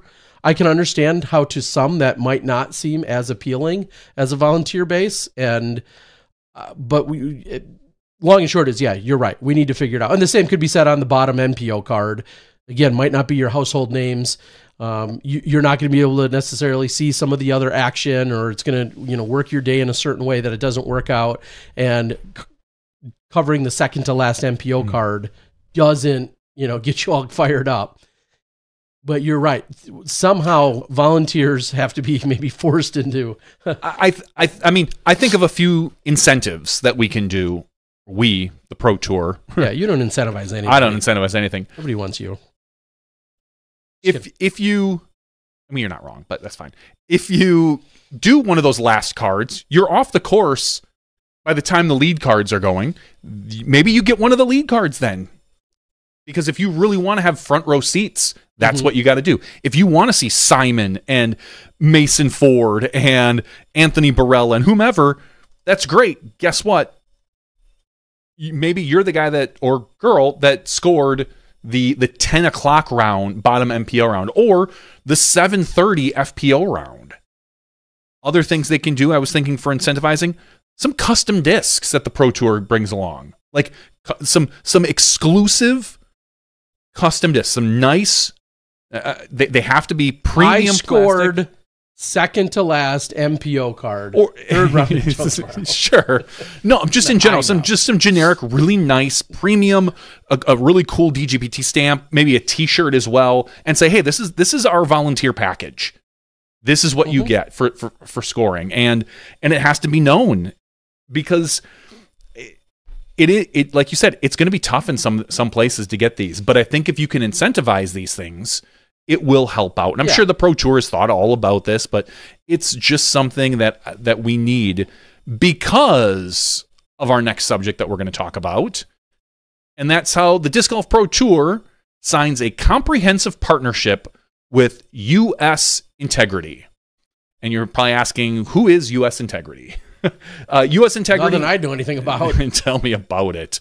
Um, U.S. Integrity is a company that actually works with major sports organizations and companies to I don't say guarantee, but to get gambling into sports books. And in order to do that, you need to make sure that all your I's are dotted, all your T's are crossed, that the that everybody knows the do's and the don'ts on sports gambling. You can't, I, I mean, the obvious ones are you can't have players gambling on the on their sport. You know, so if this does make it into a sports book, you can't have uh, Anthony Barela betting on himself. I'm going to win this one. Ah, you know, it just you you cannot do it. So there has to be some ground rules, and that's what U.S. Integrity does.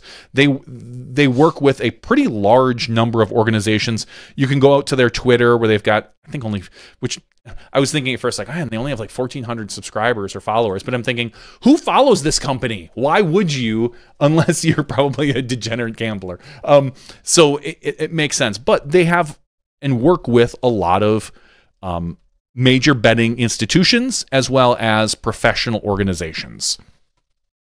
So ultimately, this is the Pro Tour and the PDGA starting to lay the groundwork for sports gambling. Which has been met with what what let me ask a question instead of guess.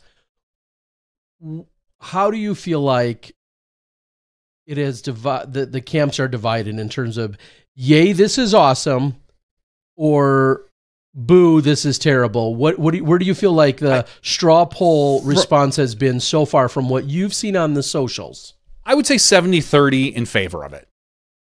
That's what I've seen. Uh, Most of the people are like, yep, this is a natural progression. We knew this was going to come. Um, it, it's fine. I do or I don't gamble. It'd be, I see some people like, it'd be great to gamble on someone. And someone's like, eh, I'm not a gambler.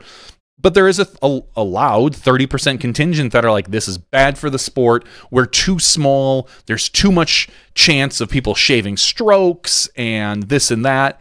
Uh, it, it's valid concerns, but you know, you, you, see people as always like, oh, everyone's just trying to make a buck buck off our sport. Now we're going to get these live broadcasts um, that, by the way, nobody really wanted to watch five years ago that they were ripping on and it was they were awful. Um, now our live broadcasts are going to be nothing but DraftKings commercials like every other sport, and maybe that's the case in a couple of years. I, I don't know. I can't see the future, but I think for the most part, a majority of the people have come to the realization that yes, this is a natural progression. Do I think it's going to bring more eyes to the sport? Probably not. Do I think it increases interest from some people? Yes. If you have a wagering interest, look at March Madness. How how much less interest would there be in March Madness if there were no brackets? Do you really care about that 5-12 game? No. But I you know what? You're sitting down. If you pick the upset for 500 bucks, you sure You do. sure do. That's right. So I mean if if you're picking Mason Ford to upset at uh, Music City, which he's won in the past, Mm-hmm. then m- maybe you are more interested. Maybe you are going to kind of pay more attention, and that makes maybe a bigger fan. In general, do I think it's going to like blow the sport up? And and no, I don't. Um, somebody's going to try to make money off of it, obviously. You know, and that, if that's the DGPT or PDGA, I, I I don't know. But going back to the stats thing, you can do this gambling with the stats we have right now with just winners, losers, and strokes. Like that's easy. It's the prop betting. Yeah, that and that's what I like. Probably most of you are very nervous about is all of the other things, and then even and and it goes all the way down to uh, like you were just saying about the the need for the statistics. It goes to C two hits Mhm. and then it not being correctly marked as a C2. And then that's easy when it's on camera and it can go get fixed. And we've talked about in UDisc, if you know we see something, somebody could later go back and get it changed. To some degree, I think players can go change some of their stats right now. But I the most specific example I have is Kristin made three putts from circle two in round two. You look it up right now, two days later, and I, I would bet $10 on it that it still shows she made two. It was clearly three because she jumped all three, and you could see her outside the whisker on all three. The volunteer, whomever, uh, mismarked it as a, as a 32 footer. but she clearly had three right there. Like that's the the easiest example just off the top of my head where you're in for a massive amount of effery is what I guess I like It could be. right there that throws out like yeah and that's that's just the easiest example of a lead card of our top player in the world of something that's glaring obvious let alone did did Lisa Fajkus on the third card really make 6 from C2 when there was no cameras there Yeah. did she make 6 at 31 feet or did she make 6 mm-hmm. at 33 feet If if we're gonna get into it's it's The- there's the- a lot of Yeah. mess If we're gonna get into like the prop betting, like oh, hum, I think you know I'm gonna put hundred bucks that you know Kristin Tattar hits at least three circle two putts this round. We will need. It will almost be an obligation that you have professional scorekeepers. People that go with the tour, people that are trained every week. You will not, you cannot have volunteers for that. It just it, there. It, it's it gets too shady. It gets too you know. If guess what, if I'm if I, if, Can I'm Kristin's scoring manager be a scorekeeper if I'm scoring the fifth card, what's to stop me from before the round being like, oh yeah, Lisa Fajkus, nah, she's not gonna hit any circle two putts this round. that's what I'm saying And and guess what? She, you know, if she's on the edge, maybe I score it inside that. You know, sometimes it's. I mean, it's gonna be hard to cheat if she throws in a seventy footer. Of but- course. but, it, it's those fringe scenarios that you really need to work on. So you need to have a a dedicated scorer for each card. Now, I'm not saying you need, you know, 50 scorers because you could probably honestly get away with like 30, 25 or something. Again, then they as we know they circle back around, but still otherwise every one of your stats gets put into thing. Now, again, you can still make bets on similar to like horse racing win place show. You could bet on on over unders of strokes, like oh, I think Calvin's going to shoot better than 13 this round or something sure, like that. There's yeah, some of the there's- there's clear cut obvious things. correct. I mean, of course. I, I think But- that's still in it. But it, it does open up a Pandora's box. Personally, I'm I'm okay with it.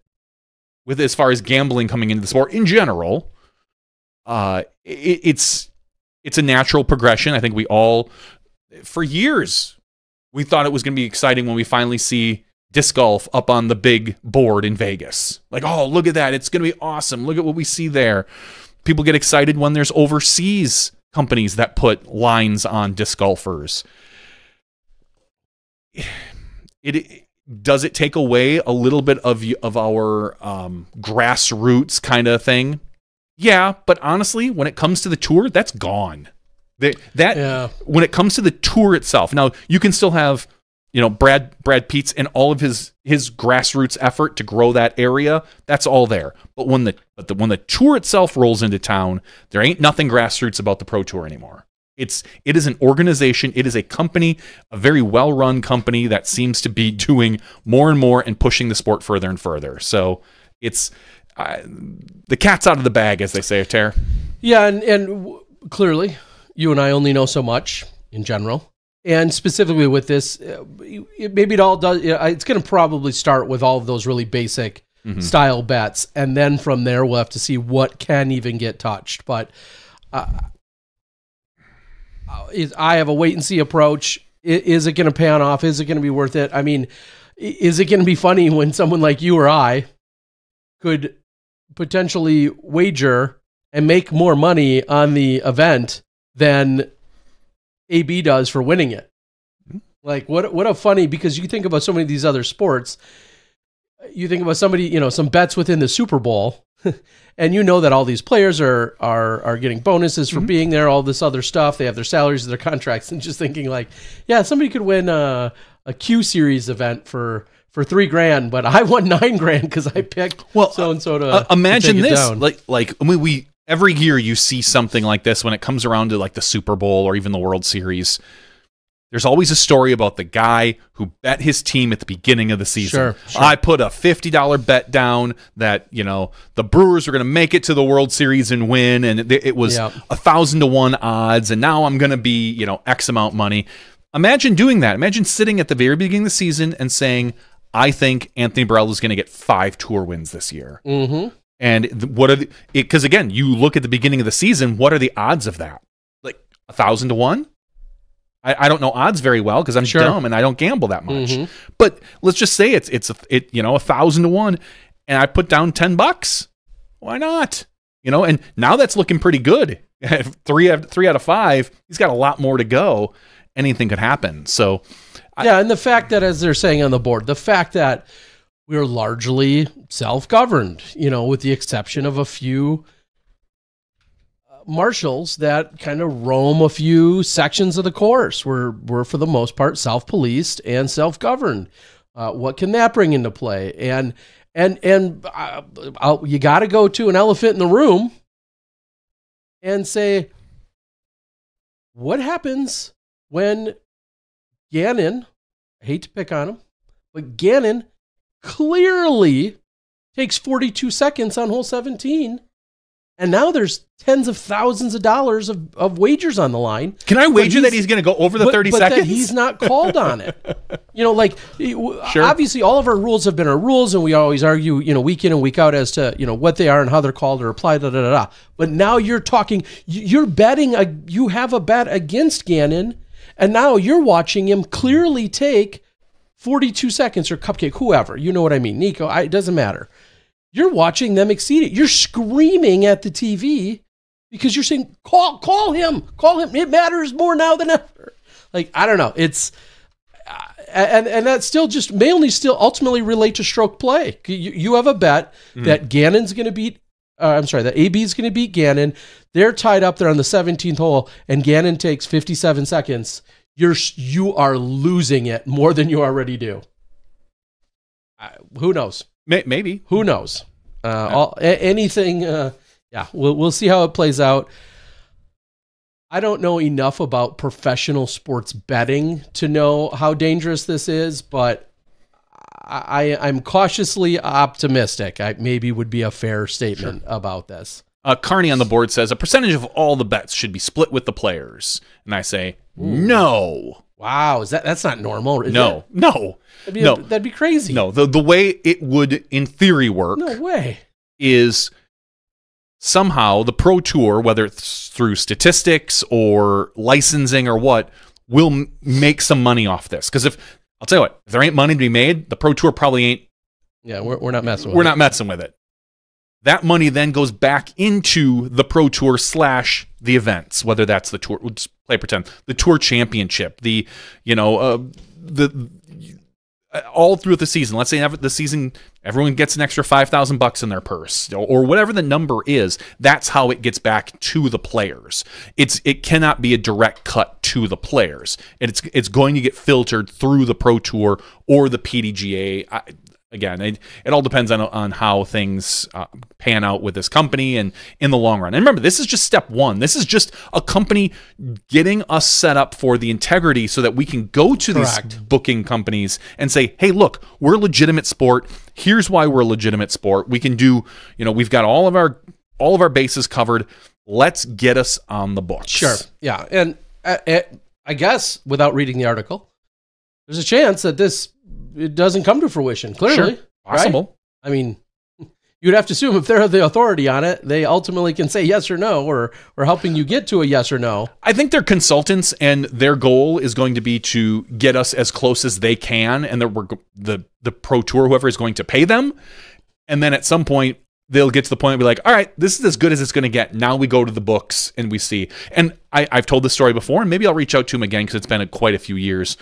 There's a gentleman who makes who does lines at one of the casinos who is part of a community that I'm a part of uh, that listens to a specific podcast. I asked him years ago. I said, "Hey, what would it take to get disc golf in the books?" And he told me I'll, I could probably look it up at some point in my email. But more or less, he's like, "You need a long history. You need really good statistics so that we can do a lot of research and a consistent tour of a lot of these things we already ha- we have now." Mm-hmm. So you know, because we all know that uh, Vegas isn't putting up the odds unless they think they can make a profit. Mm-hmm. It's not like, you know, a lot of people look at prize picks that, you know, ate a bunch of dirt a few years ago when they put up some bad lines because they didn't know, you know, when again, when when you're putting up lines on Tuesday or Wednesday and the event starts Friday and everyone's looking and going, "Oh my god, like it's going to be crazy windy at Jonesboro. That's going to push the scores down. They they didn't have that type of information Mhm. to, to be able to adjust that because they're putting up lines so far ahead of time, probably basing them more off kind of ratings and the course and a little bit of history. And, and ultimately, the disc golfers took prize picks for quite a bit of money, is my understanding, and Yeah. they and they pulled it. They said, "Okay, we're not making money on this. We're not doing it. It's not going to be like that." It, it, again, it's going to be more so probably um, your your betting lines with winning and losing. Like, who do you think's going to win this weekend? You know, w- Anthony Barela is a three to one this weekend, or whatever it is, and Gannon Buhr is a you know a, a four to one. Or I again, I'm making up numbers because I don't know I don't know gambling. But, Yeah. but those are the type of things that will probably happen. It won't be like the prize picks crap that we saw in the past. So that that's to me, I'm looking at it as two separate things. Now, uh, obviously, you've got your DraftKings, and they all have sports books and getting us into like fantasy, where you're you're paying a bunch of money to set to set players, and you're playing against other people, like a fan duel, and all there's there's a lot of future possibilities, but it's uh it's definitely going to be something that we're going to have to keep an eye on over the next couple years. All right. Well, it's a step forward. Where it leads, only time will tell. So, uh, congrats though, because I know just the idea of having these conversations and getting this set up to the point where it is now is obviously a significant undertaking. And maybe at some point, someone like a, a Sean Jack, who is probably helping lead some of this uh, partnership, it'd be worth having him on here again. It, I mean, it'd be worth having him anytime. But it's always good to have uh, Sean on like once it, a year. It, would be good to uh, check in with him on that. So, and maybe we'll do just that once once the next step is learned or taken.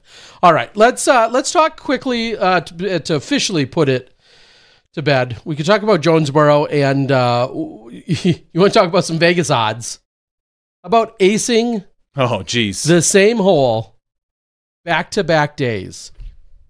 Waden sides. Birdie's hole 15 in round one. Good for you, Waden. One of the easier holes out there. Nice work. Round two, Waden aces it. And that's how we kick off the broadcast for round two. We go right out to the course. We've got a static camera on hole 15, one of the dedicated cams for the weekend. Uh, one of the you know added benefits and improvements that Disc Golf Pro Tour pushed hard for uh, to develop and to make sure that it could happen for this year, and it's it's paid off in a number of ways throughout different events. But hole 15 dedicated cam is one of those spots. The next day, Wade sides aces the same hole, same disc, same throw. it's eerie how close even in timing everything is like the they from the time it leaves his hand to the time it hits the basket it makes sense you same disc probably you kind of have this you have to almost have the same speed because you did it twice um an amazing amazing accomplishment Yeah, well, watch it again. It's just it's it's just insane.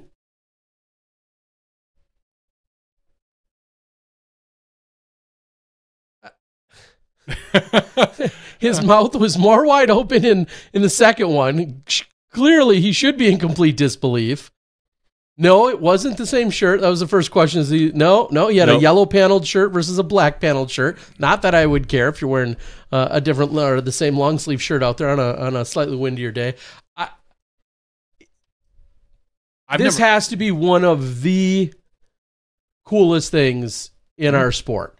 Yeah, I mean, there's there's back to back aces, which are awesome, and I don't know if we've seen that on the pro tour. Everyone has stories about it happening at local leagues or a local event. I don't think we've seen it at the pro tour, a back to back ace, um, same card, same hole, but No. between two competitors. Um, we definitely haven't seen back to back aces by one competitor in hole after hole. Not not on film in the tour. Not I'm filming the tour. Rock Searle, Uh, yes, 2000 Worlds. Yep. Got back to back aces in the PDGA Pro Am Worlds of 2000 over in Michigan. Mhm. Aced, I, I'm, I'm going to say five. Aced hole five. The very next throw was him acing hole six. Insane. Awesome. in every regard. Unfortunately, that was 24 years ago. There wasn't video of either. If it was, we wouldn't be able to even see it right now. It'd be so pixelated. Uh, so certainly the props to him. And there are there are countless stories of people getting aces, getting multiple aces in a round, doing all this cool stuff. All of it very very awesome. It's up like a hundred additional notches when you have it on film. Yeah, and it the same hole with the same disc back to back days. Like he dialed. What did he do on the other round? Uh, he birdied it. I, I said that. Yeah. He Oh, did he? Okay. uh, so he played hole 15 in four strokes this weekend. Just think how many people bogeyed or doubled it Oh in one God. round. Waden played hole 15 in four effing strokes total. I guess that's the question is does it would it have made it any cooler just for the story's sake had he four or five or took an eight on it in round one and then done this? No. It's cooler that he went Yeah. birdie ace ace. Yeah. Okay. I think so. The only thing I think that would have made this cooler is if he would have aced it forehand one day and backhand the next. Ah. like walk up and be like, nah, I got it forehand. I'm gonna do it backhand and then Or nail it. lefty. Or lefty could have been cool. Sure, But sure. there is something really awesome about watching that video and just the the mirror of it, how Yeah. identical it looks. No shock, just pretty awesome. Was there anyone on his card? I want to know if there's anyone on his card that, was, the same. I don't. That Like- that's like, a good question. I mean, that's sure that, would be kind of cool. Like, hey, I was on the card with Wade. Well, no. If you go back, I, I I think we could almost see almost everybody. I know Austin Hannum was on it second round. He wasn't on it first round. Uh, I I don't know if there were Any uh, overlap? Any of the people. My the joke that I made uh, is when you look at how he finished out. He went five. oh, it was a rough end. He went uh, th- uh, one, three. He went five, Seven, one, yeah. three, seven, four, or something like that in round one. I'm like, that's not far off from my zip code, honestly. when you look at it, uh, I'll dox myself. I'm five zero seven three two. Uh, Mm. but anyway, and then he had a very similar second day on how he closed Yeah. out. He- Uh, he- he birdied the next hole both rounds. That says something. Yep. He had a rough 17 and 18 both days. Yes, exactly. So, uh, so impressive. Waiting and and then just like to pile on to the cool story. He's 16 only. Uh, it's like his third pro tour event, and uh, only found golf like during COVID. Well, Like- when you're that, that was like three years ago. I know, And he's 16, so he found it when he was 13. I, the, and the fact that here he is Yeah. getting double aces uh, in this event, yeah, it's just all of it very cool. He's got a younger brother who I think is only like 14, who was also playing in the event. Hmm. Uh, L- Landon Sides is out there and was playing as well, and his younger brother is I think two years younger than him. And then just to put it out there, just so you can say that I told you someday, uh, no relations con- coincidentally to Braden Sides, who was out in the field and playing as well. So you've got So the wait- youngest at Landon, then you've got Waden, who who aced, and then Braden sides from a different part of the country, different sides of the country. How did we had an Jonesboro this year had an all Paul card. yep, They had an all lefty card. yep, How did we not have like and all sides. no from three, all sides. three sides of the story card? there you go. yeah. So um, How do we not get that? Come on, you failing me. You're failing me, Jonesboro, with your theme meme cards. Yeah, so uh, pretty uh, pretty incredible.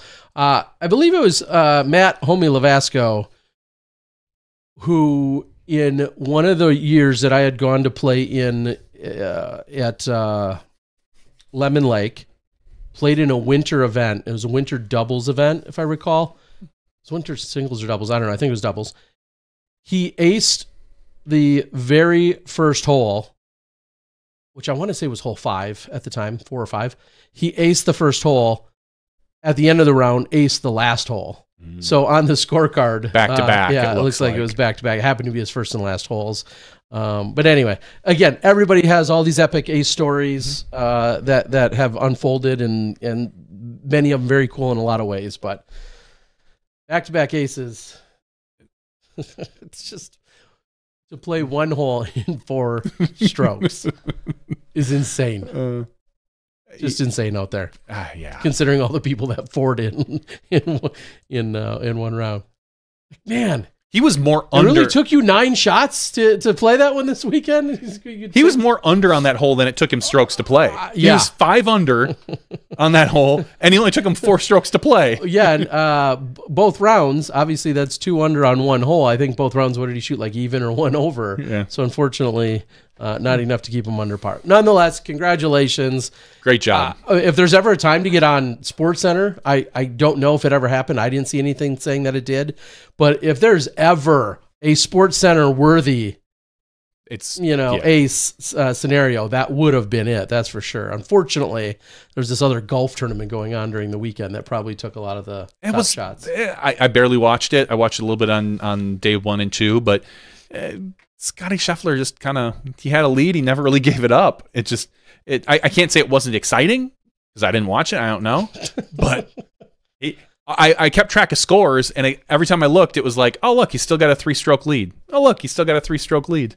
Oh, look, he's still Well, got a I mean, there's still other people that you know hit great shots. I don't care about them. I care about the winner. All right, let's uh Let's talk- Jonesboro's officially done. Congrats to Brad Peets. Congrats to Kristin Tattar for uh, taking down another victory, her second of the year.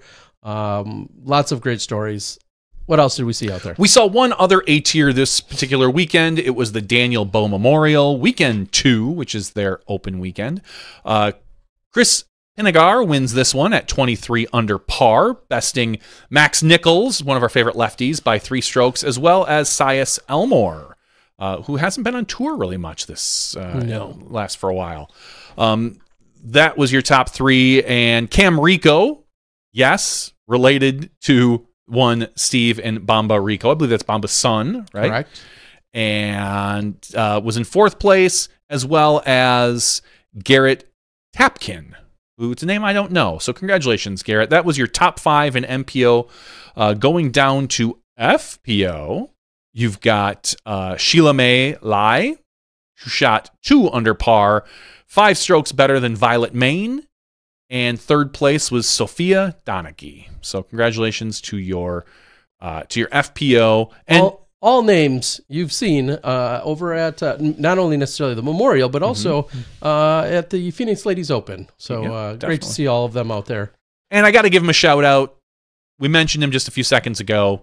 MP40 winning this one, Steven Rico, Dang, Yeah. Steven. which everyone knows him as the uncle to Cam Rico.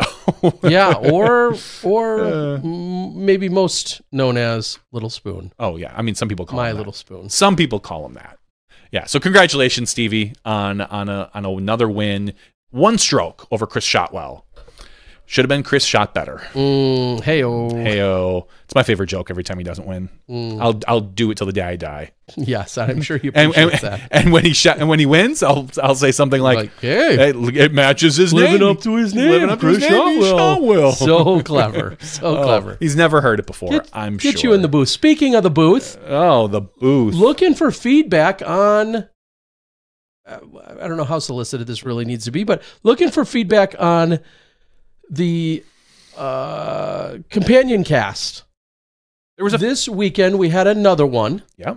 and this time over at CCDG. And I and I don't need any. Uh, I, I'm I'm speaking high level generically. Uh, we specifically have also been propositioned to uh, host a potential companion cast. Jomez uh, obviously had it on their channel. It was I think it was Big Germ, and then uh, Brian uh, chimed in over at the U.S. Women's. Kind of a funny one at the U.S. Anyway, uh, but then this weekend, Ian and Central Coast hosted theirs on Friday on their channel, and then Sunday it was exclusively behind the DGN Pro model subscription. And I, I'm just curious how they're received. And this isn't this isn't a hey, how much do you like or dislike a Germ or a Brian or a, or an Ian or nothing of that nature. Just the the concept is are people utilizing it? Well- do people care about it? Do people know about it? From what I saw, I looked at, on just this was the first day when it was on YouTube.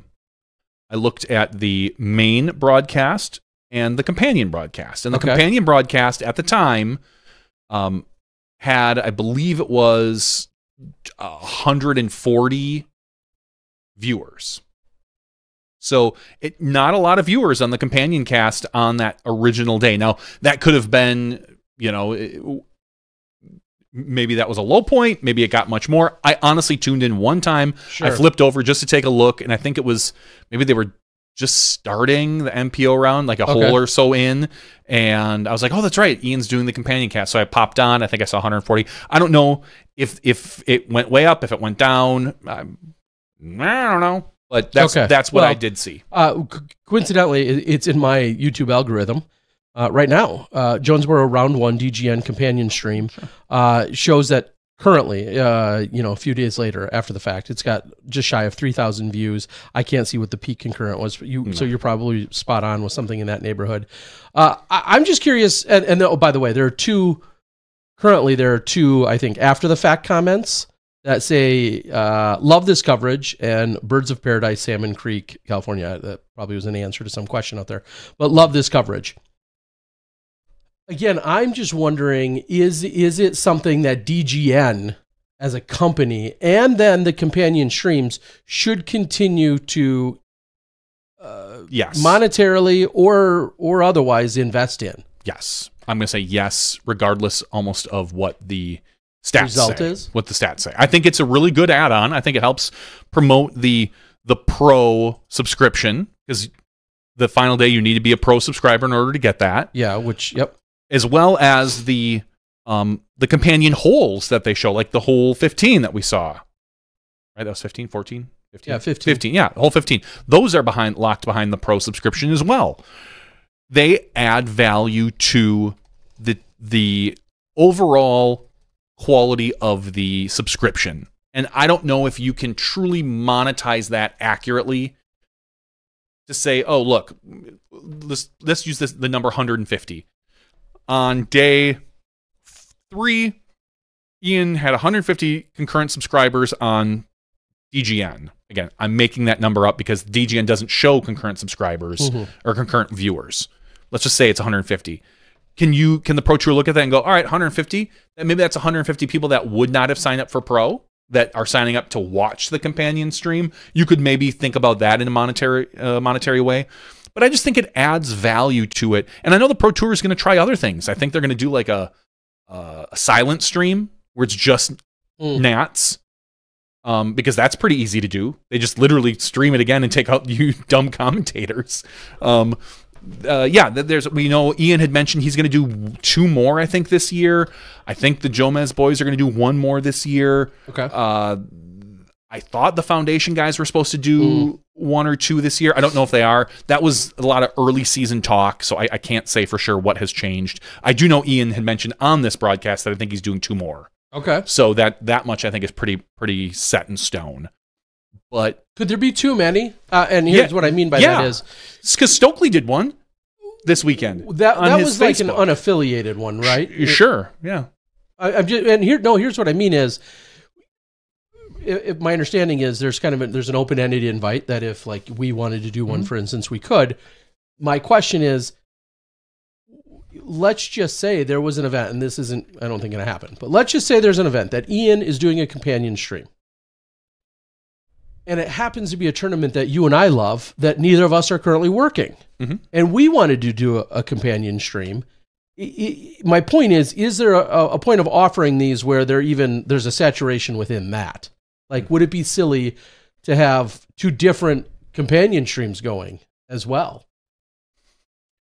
Uh, yeah, I think you could almost have too many. Okay. I, I think you're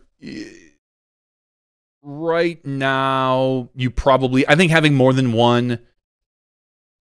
I'll, I'll call it this: more than one alternate commentary stream. Like, I think you could get away with your your primary stream, a we'll call it a Nats stream where you have no commentators, and Na- then Nats being short for natural, N- not not G N A T. not so you guys know. or Natty Ice or anything like that. Well, Uh, that, maybe you'd have a few of those with it. we could, um, and then having a, an alternate commentary stream. So kind of those three options. Other than that, I don't think you would ever want to do two alternate commentary streams. You wouldn't want to have an Ian as well as an official Stokely one or an official SmashBoxx one, or it just. I, I think at that point, sure, you, you you could maybe you know we get a, a dozen people to watch us that are hardcore SmashBoxx fans. Um, but I, I, don't see the advantage in the Pro Tour of really drawing that out. Now, uh, and that's at this point. You fast forward five, ten years, if your concurrent subscribers and concurrent viewers are in the 50, 70,000, 100,000 range, maybe, maybe that makes more sense because you you're you're you could maybe accommodate more different type of people. But at this point, I think we're too small to really kind of spread ourselves out like that. That's my personal take. Okay. Maybe I'm wrong. All right. Well, anyway, they were out there. They're available uh, for no better reason than just to make sure that all of our viewers and subscribers and listeners know that that's something the DGN is doing. And even by the remarks here on the board tonight, it doesn't sound like overwhelmingly people are are are blown away by the concept. And again, this is no this is no value judgment on on the people doing them, but just even just the concept. Uh, it's it's intriguing to me. I- don't know that. Um, I don't know. I, again, I'm I'm different. You're everyone's a little different as to when I'm not Mhm. working a weekend to then feel like I'm still kind of working that weekend. Um, when I usually then would try to fill it with a hundred other things uh, within disc golf that I would do. I don't know that that's that's the way I'd want to spend two out of my three days No, necessarily. But maybe if it's an event that I love that I'm not in, involved with, like I'll, I, I'm I'm not gonna lie, if if I were to be interested in one, what event, doing one what like would you like to do? I- like a like a Beaver State Fling or a course I intimately know. Um, then again, I, I guess I don't even know what the style is because it's any that's that's the thing. The comment stream. It's any way you want. Uh, that's what I mean It's is- anything you want. It's your personality. everybody. Uh, I'd be curious to know what everybody wants or expects out of that. That's what I think is is maybe even just uh, The- I- through that is I feel like- tough. I, I I hate that I hate that idea. I hate thinking of what anybody expects or wants. That that type of commentary stream should be you. Hmm. Your personality. You shouldn't be trying to accommodate any particular like like oh do they want this really funny or do they want more of a serious take? Well, yeah, but do you want play by play or do you want me just interjecting? Like, I think that's a fair question. Uh, I I, I think Because as a play by play host, day in and day out, I think it's I'm- what you wanna I'm in in the seat. I get That's that's what I that's what I'm obligated and paid to Yeah. And maybe you want more of that, or maybe you just like me to give you. I Uh, want honestly, I want from you personally interjections. I get to hear your play by play every freaking week. hmm and that's great. You're, I, I think you're very good at it. You do whatever. It, it's it's fine. I want more off the cuff, Terry. I want more, and I have ideas as far as how I would handle it. It's funny because I think I'm not. I think I'm fairly certain the Pro Tour kind of runs these streams. Like Ian dials in, and the, he he he's yeah, he's fed the same stuff. Correct. We're fed in the booth, is my understanding. exactly right, Um, the same feed. I have different ideas on how I would like if I were to if I were to host one, how I would like to do it, Mm. and and that's it, it. And I would want to run it right here with my own buttons, Mm. Personal, sure. personally. Like you, Well, maybe you tell them that's what you want. I, I bet you they would love that. I they, know. They would look at me and go, "Wait, we don't need to dedicate a person to to doing that." Um, because I again, I, I- I've thought about it. We've done companion streams Mm-hmm. before. Uh, just whatever. I, I honestly debated doing one this Sunday, and I'm like, because I wasn't really doing much around the house. My son and I went for like a, a bike ride or something. And I was doing just offense. I'm like, I could spin one up, but then I was like, oh wait, Stokely's doing one on Facebook. Ian's already doing one. I, I feel I would feel rude almost doing one in that like I'm trying to take away from their scenario. So it, it, it was a very fleeting thought this past weekend because I know Jonesboro as well as the next person that's watched it for Sure. eight year, eight or nine years. Uh, so, but again, it's I've got a few things I want to work out and, and take care of and, and and do before I would ask or you know to run a companion stream or do a companion stream. It's just you're because I'm, I'm like you. Odds are I've got something going on. You know, that's if if my wife sees we have a free weekend or I have a free weekend, she's probably scheduling something for me. Uh, All right. Uh, so that was something that came to mind, and uh, I get I, clearly we'll see we'll see how many more there are, and then we'll see uh, how how hard we go on them as to uh, how well they continue to be received or or get tested out throughout the year. So they're out there, they're available. DGN Pro subscription, Yeah, go get, get go get yourself the pro subscription. among whatever else, uh, all the other all the other amazing things that that gives you. Uh, the only other news is some PDGA news. Uh, there's a new Scholastic programs launched, and you can check it out on the PDGA.com.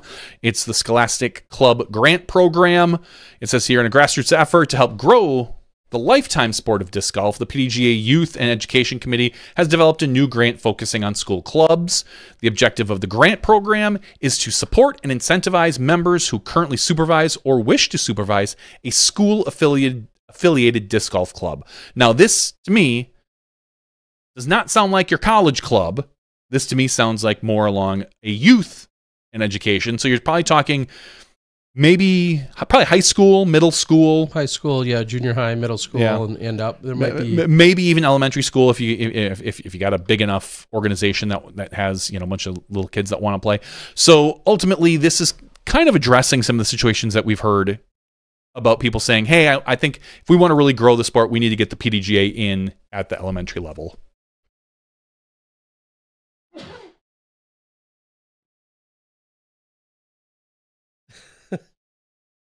Uh, yeah, and what uh, in addition to that very obvious uh, agenda and statement of getting uh, the youth involved, this also, uh, and I don't know how many they're going to ultimately give out, but what this also does is it can help answer a question when somebody says, "Hey, where is my PDGA money going?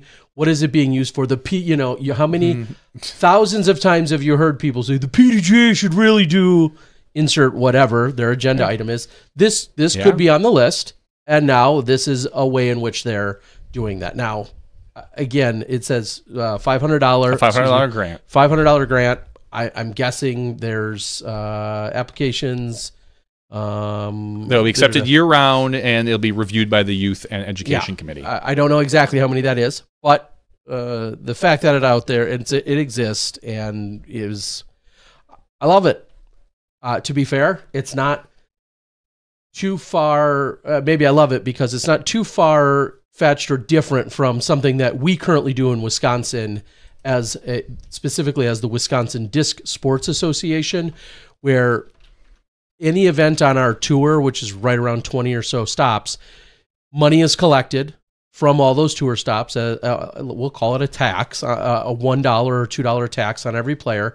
That money is pooled together. It can be anywhere from ten to twenty to twenty five grand or whatever it is at the end of the year, and then people are uh, are are heavily encouraged and and beat over the head to submit for various grants and obviously education, youth and uh, disc golf and, or disc programs in schools, course development, lots of different things fit the category. So this kind of falls along those lines, but is more channeled in the sense of going after clubs at schools or school clubs, which is awesome. Like there's a there's a there's a narrow focus here, and uh, you'd be an idiot if you're not applying for it.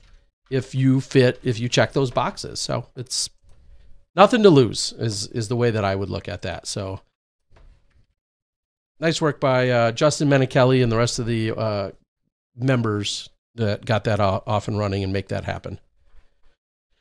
Um, yeah, I would say that's about it in terms of actual news for now. I- don't know that there's anything, you know, there, there's a lot of sidebars and stories and this and that that ha- have unfolded otherwise, but I, I feel like that, that covers pretty much everything we need to worry about for tonight, doesn't it? I think it does.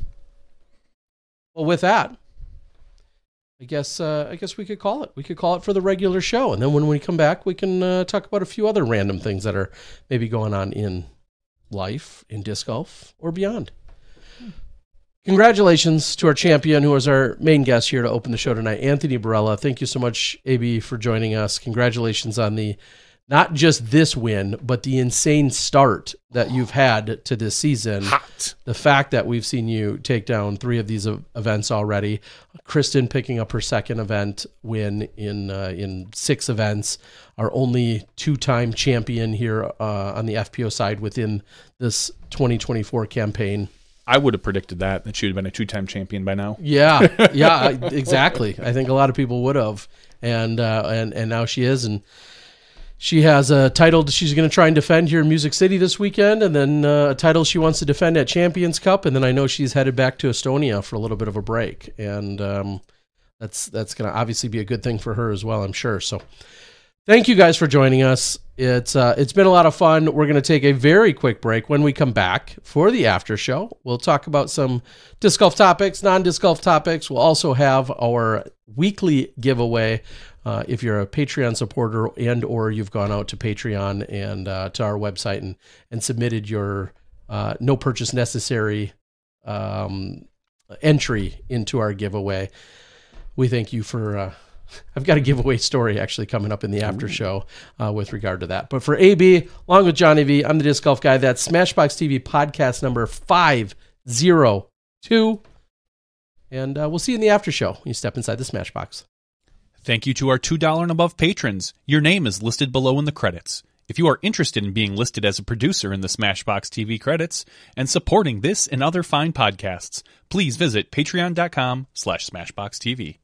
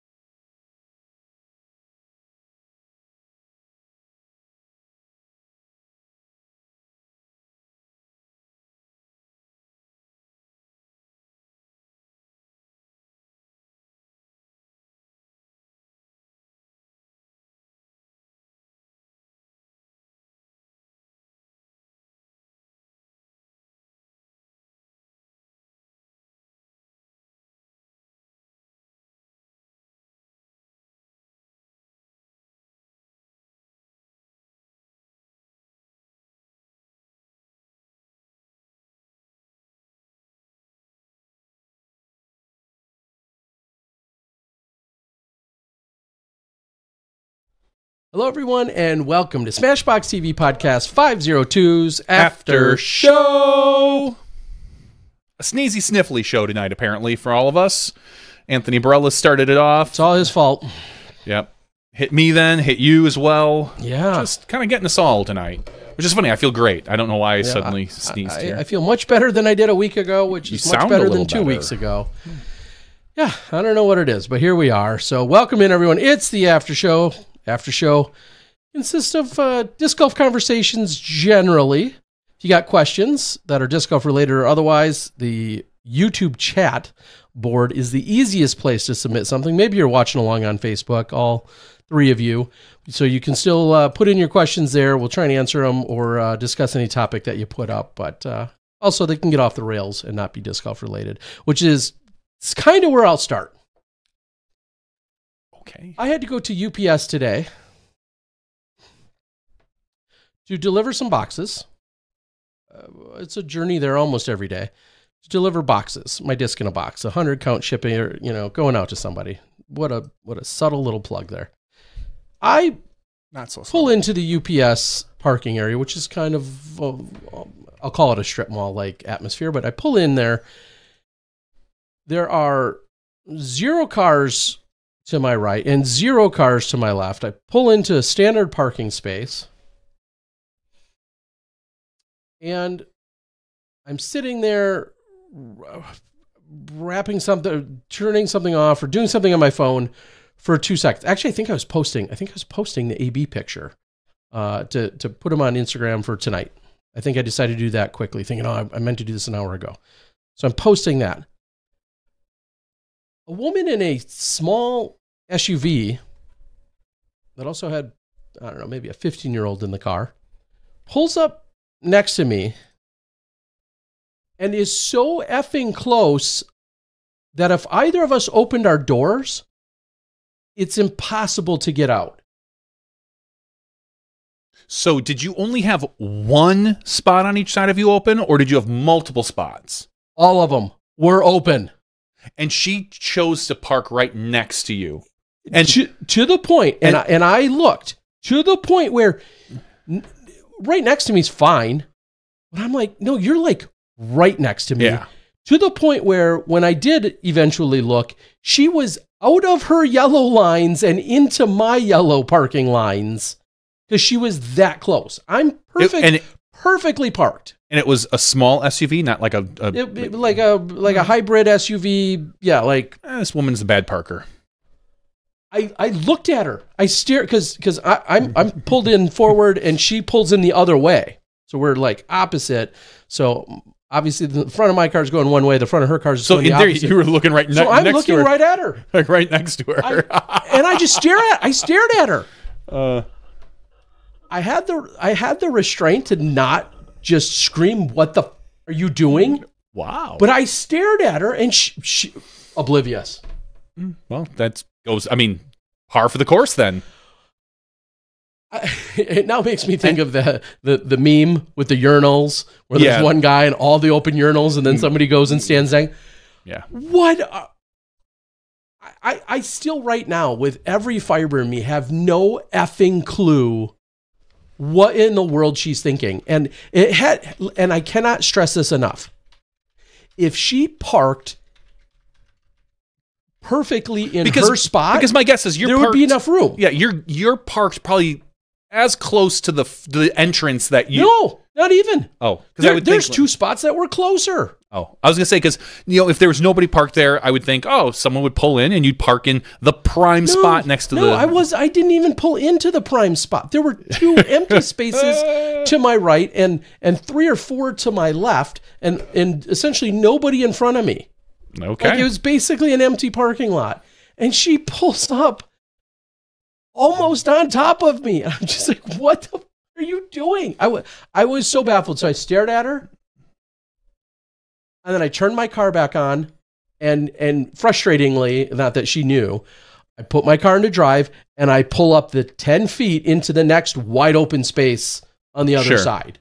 so she probably couldn't even have gotten out of her car. No, we couldn't. We could. I I wanted to sit there and wait to see what she was going to do because I had to finish the post anyway. Sure. And I wanted to wait. And I was like, "How is she going to do this?" And then am I going to scream at her once she hits my door? Because it'd be an, it would be uh, with her size, uh, which wasn't small nor am I, but she couldn't have physically gotten out of her car door. Hmm. What? Unless she was just going to send the 15 year old in. Which she didn't. That's a good question. Okay. She didn't. Not that you should still park that close to somebody because No, you because I couldn't get out. because you couldn't get out. I know. I couldn't have gotten out of my car. Uh. she couldn't have gotten out of her car. So I turn on my car, put it in, in drive. I pull it up 10 feet. Again, a whole nother row of empty spaces. She drove through those empty spaces to get to where she did. wow. I pull up and I park, and then I, I she gets out, and I, I get happen to be getting out a moment later. And she's going into the Domino's to, uh, which is literally right next door to the to the UPS, and I'm just staring at her like, and I I I I, I, I held back. you- I held back surprisingly because I I am believe it or not, folks, I'm good at being a dick. I held back though. I didn't say anything. Uh, I don't think she caught any of my looks, and that was the end of it. I just I am still baffled to this moment. What in the world possessed? Again, It's- if she if she parks good in her spot, I'm like, okay, that seems a bit much, but but there's space. but that's fine. There's a space, and that's fine. She was literally in my yellow spaces, like that much into mine. Hmm. You can't think of a. Tell me, you cannot No. possibly think of a logical reason, can you? No. No, I, I I mean, you you were close. If she's sending her kid in and not thinking about her having to get out, it's still weird. Uh, then you would just probably pull right up Yeah, to the door. There's- exactly. There's a hundred other ways that that would still go down. I all I thought is even if I wasn't in the car and she did get herself out when somehow when either of us came back to a car when you're parked that close to me how are either of us supposed to get back into our cars? Hmm. What are you thinking? Maybe she thought you were cute. Just wanted to get up close, check it out, see if you had a ring. i don't think so. No, okay. but that because initially i thought to myself does she not know i'm in here? And then when she pulls up and she sees me in my car she's definitely going to just pull away right? Just to take any other spot. You're not going to park to some next to somebody that close when they're in the car and maybe having to get out because she's not knowing how she's even going to get out. She's definitely going to pull it i waited for that moment. Nope. now. I, I, anyway that was to ship out some uh, boxes and uh, a disc that i dropped off along with a whole set of bags but ah, i'm all worked up just thinking about it again because it, it was so dumb. Uh, it's. I mean, it's. It's the world we live in, Terry. I mean, Uh, if I, I- if I had to guess, just because I think it was maybe a 15-ish year old son in the car, I'd guess she was 30 something. Um, you know, you could maybe factor in, oh, is she a brand new driver? Is she old and senile? Everything. 35-ish. okay. I don't know. No, it was not a fancy car. Uh, someone's asking if it's a BMW or Mercedes or a or a you know a- any car of any significant massive expense or or or and or No. maybe entitlement that you think goes along with it or whatever. No, No, those a- like those people probably park further away from you. They're Yeah. probably more conscious. My wife, it frustrates me sometimes to, to like if I'm in the passenger seat and she drives around a parking lot because she will pass perfectly fine spots just because there is a car next to her, not even like poorly parked. And she drives a Jeep Grand Cherokee, so it's a little bit bigger, but she will drive closer and I don't in fact, I usually don't park up front just because I have two good legs and I can walk. Um, but I'm not going to pass up like a spot that's four or five back. My wife, she'll just like drive around and look for a spot that's more open so that she does not, as she calls it, get a door ding in her car. And I, get it. I respect it. I'm the That's same fine. way. A- And, My car's not that fancy, but it's still almost brand new. it's, And a, it's a I- Bugatti. I would call that fancy. I, I just I I do feel like, and I've even taught my daughter, if you have the option of like this space or this space, I would take this one for this reason. Mm-hmm. Yeah. Uh, just because if you can avoid the chance of somebody else dinging your car, then I'm I'm good with course. it still for now. Fast forward five years, and if my car's got a bunch of dings or Like is, is a little more beat up, Yeah. maybe like yours, whatever, it's just older, then maybe you get a little looser with it and you're not as concerned. But yeah, right now, knowing there's mine is relatively dent and scratch free still uh, by the by the some some uh, amazing luck. Yeah, I, I I will sometimes yeah go a few extra spaces if it means staying away from some of the mm-hmm. more populated spots. But yeah. I drive a not two- when this woman's parked on top of me. I drive a 2009 Honda Fit. It's got rust spots on the doors, like kind of where the, the All right, quit the- flexing the already. the We got it. We got it. I- this guy don't care. I'm kind of hoping people kind of bump into me and hit me. I'm like, come on, There's an insurance claim. come on, somewhere. insurance. Even if they pay me cash, I'll just be like, what did you do to my car? Oh, my neck, my neck. Perfect. Uh, uh, quick side note again, this one's definitely non golf related, but uh, being out in Bend this weekend for the first time. Some of you have been familiar with it. I don't have a big rant about it or anything uh, or spiel, but uh, I went to Good Life as a brewery. It's a it's a sizable brewery. Uh, I think Nate Doss told me they do more beer in a single tank than Nate does in a whole year. I mean, so they're they're sizable enough. Uh, Good Life. So if you're familiar Whoa. with Bend and or that area, you probably have heard of them. Uh, I heard of some beverages that I might like over there that turned out to be just okay. Uh, they had a couple of stouts on tap. A Snickers stout, which I thought would be you know a top five for me, and it wasn't. And then one um, stored in some what George Dickel uh, bourbon barrels. Eh, it was okay. Uh, pretzel was good. Check my Facebook; it's all out there. But Yeah. yeah, got to take in Good Life. Uh, which interestingly, I think more importantly, the bigger story to that really is when Nate and Val had moved to Bend and were getting serious. Well, they had moved to Bend for quite some time, but then when they eventually got serious about brewing and starting Bevel, Nate interned and worked at Good Life for a few Oh, months. that's cool. and so there's definitely a, a you know a connection there and, Yeah. and then one of their main brewers which just helped them win a gold medal at a, I at a big beer festival I saw Nate's post. also worked at uh, good life for a while so anyway some of you saw it already but yeah pretty cool uh, got to check it out Terry, you'll be happy to know that Smashbox TV's taxes boom have not yet been have been filed for an extension Yes. Yes. Only because we keep yeah we we, work- running from that law oh god, it. we run, run, run, run. No, we work with LWS yes um, because you know they're they're awesome, and I got them all the paperwork last week Mm. uh, and said, "Oh, hey, yeah, remember me? Um, I'd love you to do our taxes again."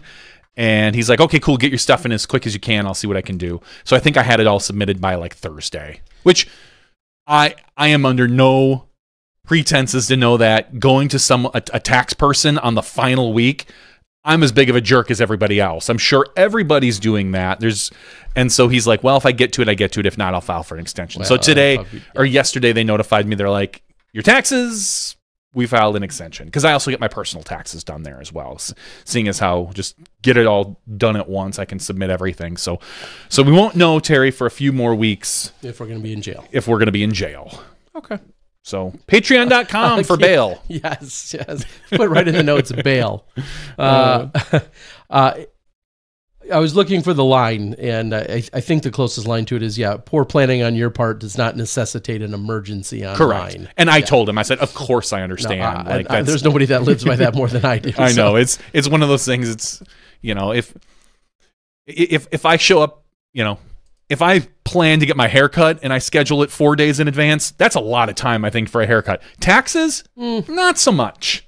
Not so much taxes. No. Uh, sorry, I was just reading through that. I saw the looks like some updates to the Las Vegas challenge. Uh, I- They're moving it out of Las Vegas. asking No. AB and then now seeing what he'll do with that, I I think is is obviously fair for AB, but I think it's going to be interesting who will be making game time decisions Yeah. to possibly withdraw from that. And that's no knock on the event. It's just when you're talking about the tour and you're talking about going from the dynamic disc open over to the OTB two weeks later, it was intentional that one of the longest trips of the year had a week off in between, and just the fact they're ready for a week off. Vegas is right in line. It makes mm-hmm. all the sense in the world to play Vegas if you're looking to play a big event. And we have big names and, and lots of people are signed up and presumably playing.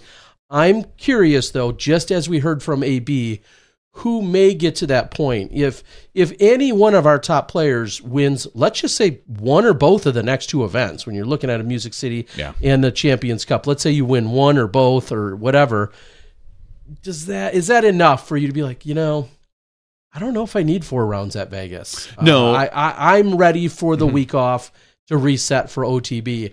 Of course, I hope every single person that signs up goes and plays because they're playing for the fans, they're playing for themselves, they're playing for the event. I'm not suggesting or wishing otherwise, but It's not going to be shocking is when w- w- of when two or three of the top ten decide not to show up for some reason.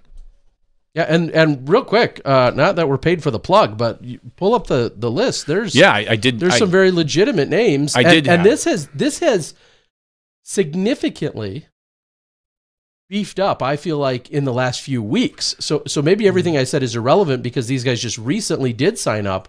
the The field is getting more stout. I feel like Calvin Heimburg, Gannon Buhr, Ricky Wysocki, Matty O, Isaac Robinson, AB, Joey Buckets, Bradley Williams, Aaron Gossage, Alden Harris. all Like, ten twenty nine or above. yeah, for those, those Matt Bell, Nate Sexton, and so I- on. Like, I don't foresee Calvin dropping out. It's a big Innova event. I, I think he'll probably maybe feel more more of a pull or obligation to go there. Gannon tends to roll with Isaac and Alden. I don't. I wouldn't foresee him dropping. But as we said, Ricky. Would it shock me if Ricky didn't play if he if he wins an event coming up, takes the week off? Not at all. Mattio, same thing. I could see Mattio like just kind of deciding, eh, it's, maybe I'm going to take a week off. Uh, you know, but it's again, s- some of these names, it's not going to be shocking. Some of them, I think, you know, as we said, AB.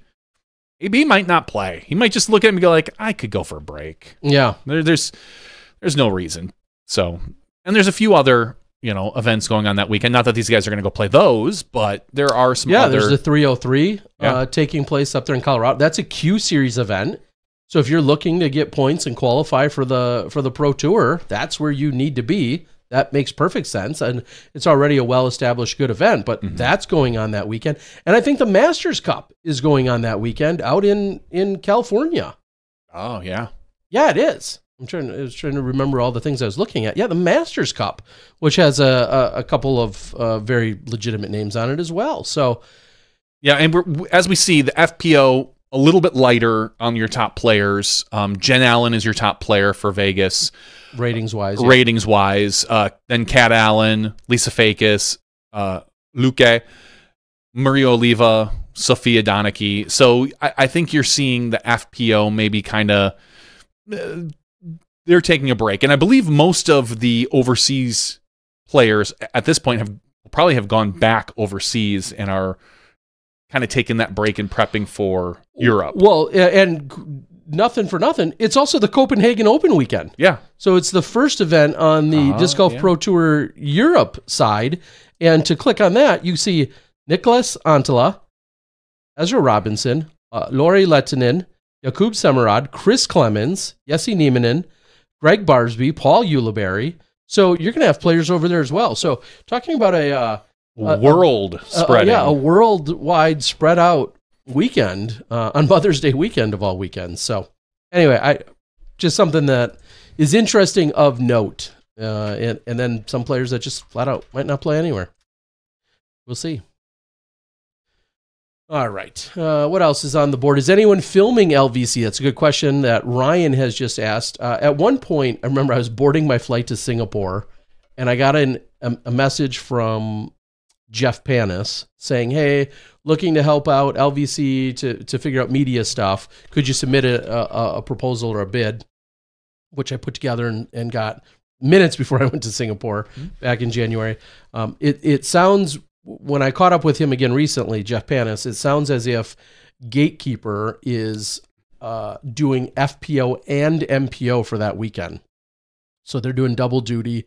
Uh, Gatekeeper will be uh, uh, in charge on top of it. I don't know if there's any other cards outside of lead card for both of those that uh, will have any focus by any other teams, but I know Gatekeeper is going to be uh, on it. So, uh, yeah. Uh, Citizen- speaking of coverage, I'll say Citizen asks, are we getting any coverage of the EU events? the Pro Tours doing Pro Tour stuff with European uh, Camera ops labor. and such. Yeah. Uh, what that all exactly means, Johnny nor I really know for sure. I think you're going to have all European commentators, sideline reporters. You, you- I think it's going to be an all European crew, almost exclusively. I think more is it more disc golf media or more disc golf? Um, I think they're going to be a large backbone of it. Yuha and a ton of others. I think it's going to be almost exclusively all European manned, so to speak and uh, and then featured you know within our within the DGN but that's that's my understanding. Okay. so I guess we'll see. But speaking of coverage one announcement that got made I think on Friday morning uh, that I'm excited to share with everybody is I'm heading to Mexico. For my first time ever in any capacity golf Like on the run? Are you? I might be by then because that's going to be the week after Worlds. So who knows? I'm going to probably pay, play some big bets on Worlds, oh, good. and then in the last putt, when somebody's not doing what I need to do, I'm going to scream. It's going to throw them off. I'm going to win the bet. I'm going to win like probably a million pesos, and I'm effing out of there and off to Mexico to never see me again. That's great. I don't I haven't thought about this, but Don't put much thought into it. Just do it, Terry. the million oh shoot I you know I'm such an idiot. I don't even know if a million pesos is a lot of money. I'm guessing it's not. Now that I think Oh God, no, it. no. It's like no. It's probably it's probably like four hundred dollars. No, it's fifty eight thousand. Okay. fifty eight thousand eight hundred and eight right now. So yeah, fifty eight grand. Yeah, I'm gonna win fifty eight grand on the worlds, uh, at least for one of the divisions. Who knows what I'm gonna bet on the other Multiple one? ones. And then, uh, but yeah, the week after Worlds, uh, there's an event uh, and uh, teaming up with Fabian and uh, Disc Golf Mexico and That's and, awesome. Uh, Dynamic Disc Mexico. Just super excited. I don't know even know every single detail just yet. Obviously, uh, I'll continue to promote it and talk about it as it gets closer. But it will be my first time ever stepping foot in Mexico. I'll be flying into Mexico City. Uh, we are about two hours south of Mexico City. Is where the event's going to take place. We're going to get coverage. I'm just so excited to be uh, introduced to the entire culture and the community. And I know Gatekeeper, excuse me, GK Pro has done some stuff, and Luke Humphreys and and Kevin Jones and those guys, Paul Oman, I believe, and a few others have been down there Yeah. um, in some capacity. I'm excited to go have my experience down there as well. So super, super excited about it. And uh, that announcement was just made official and uh, announced, uh, I don't know, Friday or so. So wanted to share it with you all here. I've been kind of hinting at it for a few weeks. Ooh. I'm not disrespecting the pesos. I just don't know how many. No, I think I, worth. I I think he said Oh. he was that was directed at me when I jokingly said it's worth like four hundred dollars. Uh, yeah. See, I, I, I have heard that the baht is uh, is struggling to the U.S. dollar right now. So I don't know. Are there? uh, As naive as a question as this is, oh, you're gonna ask me something smart, and I'm not gonna know. no. Uh, can I just go anywhere and cash out and do a currency exchange at any point, anywhere, just to play the currency game exchange? Right? Like, I could. I think so. Now, every time I've had to do a currency exchange, almost every time, you, you have to show your passport. Mm-hmm. But I'm not. You're not necessarily going to that country. You're just showing your passport. And I think you can get currency exchanges from your local banks. Yeah. So I don't know what's stopping me from going in and getting a whole bunch of Thai baht right now when it's really weak against the dollar. Somebody, somebody, tell me, give me this update because it feels like a game I'm ready to gamble on. oh, jeez. I mean, if I'm being blunt. Terry's looking to make all them tens of dollars. uh, anyway, um, yeah. I, what did I say? You don't know what you don't know. Well, Uh, he's, uh, Ryan Pilcher says local banks tend to give bad deals. yeah, there, there is always a discussion as So to you whether go to you the should be doing it at the at an airport or if you should be doing it at a destination airport as opposed to, Mm-hmm. you know, the the international one you're flying out of. Should you do it, you know, a departure or an arrival? There's there's obviously it's like the stock market. There's there's a lot that goes into the uh, the timing of it more than anything. But um, yeah, I have some ideas. I definitely have some ideas. They're not good ideas, but you have ideas, which is I a start. claim they were good. which is a start. Uh, um, says can't wait to hear about all the Mexican beers. yeah, you get to try some new uh, flavors. Yeah, I, I, I- I mean, if I have to oblige, that, that's all there is to it. Uh, the dollar is accepted at most touristy places. Yeah, uh, I guess probably depends on where you go. Uh, no Terry approved beer in Mexico, just meaning uh, stouts or pro. I can't imagine that heavy, dark, fifteen percent stouts are a, a very popular. Uh, they're already In Mexico, yeah, they're already probably not. regional and, and, and seasonal more than anything. Something tells me that that's not a popular genre uh, down there. But Mm. Again, sometimes I'll, I'll go on that uh, that hunt for you. Well, Jim Brown says you're better off drinking the beer than the water, Mm. and that's true in some spots. You definitely need to be careful as far as what you consume and what you drink when you're down there, because different uh, different things hit different people differently. Terry, Yeah, we'll see. Uh, we'll see how that goes. Uh, side note, uh, unrelated in every way. I'm I'm intrigued and a bit nervous about going to see my 13 year old daughter's first ever tennis match on Thursday. Uh, Hmm. She never swung a swung swang swung. You think I- she can beat Anthony Barela? no, she never uh, had, had used a racket in any capacity prior to two weeks ago.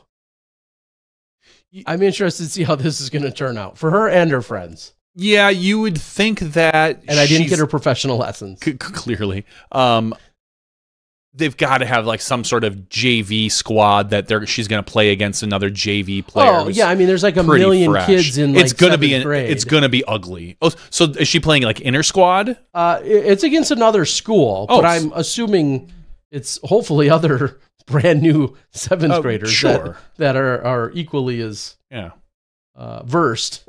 Ah, I mean, you you would think that they would that they would definitely rank them and like, oh hey, look, Kenzie here has only been playing for two weeks. Let's not put her against you know the other seventh grader that's been playing since they were three. And Yeah. it, it I I think she'll be fine. It'll be an ugly match, That's that's why I But- say it. but it will be fun to watch. Yeah. And I I am uh, Yeah. I am definitely I'm looking forward to it, and, and we'll see how it uh, all shakes out when it's all said and done.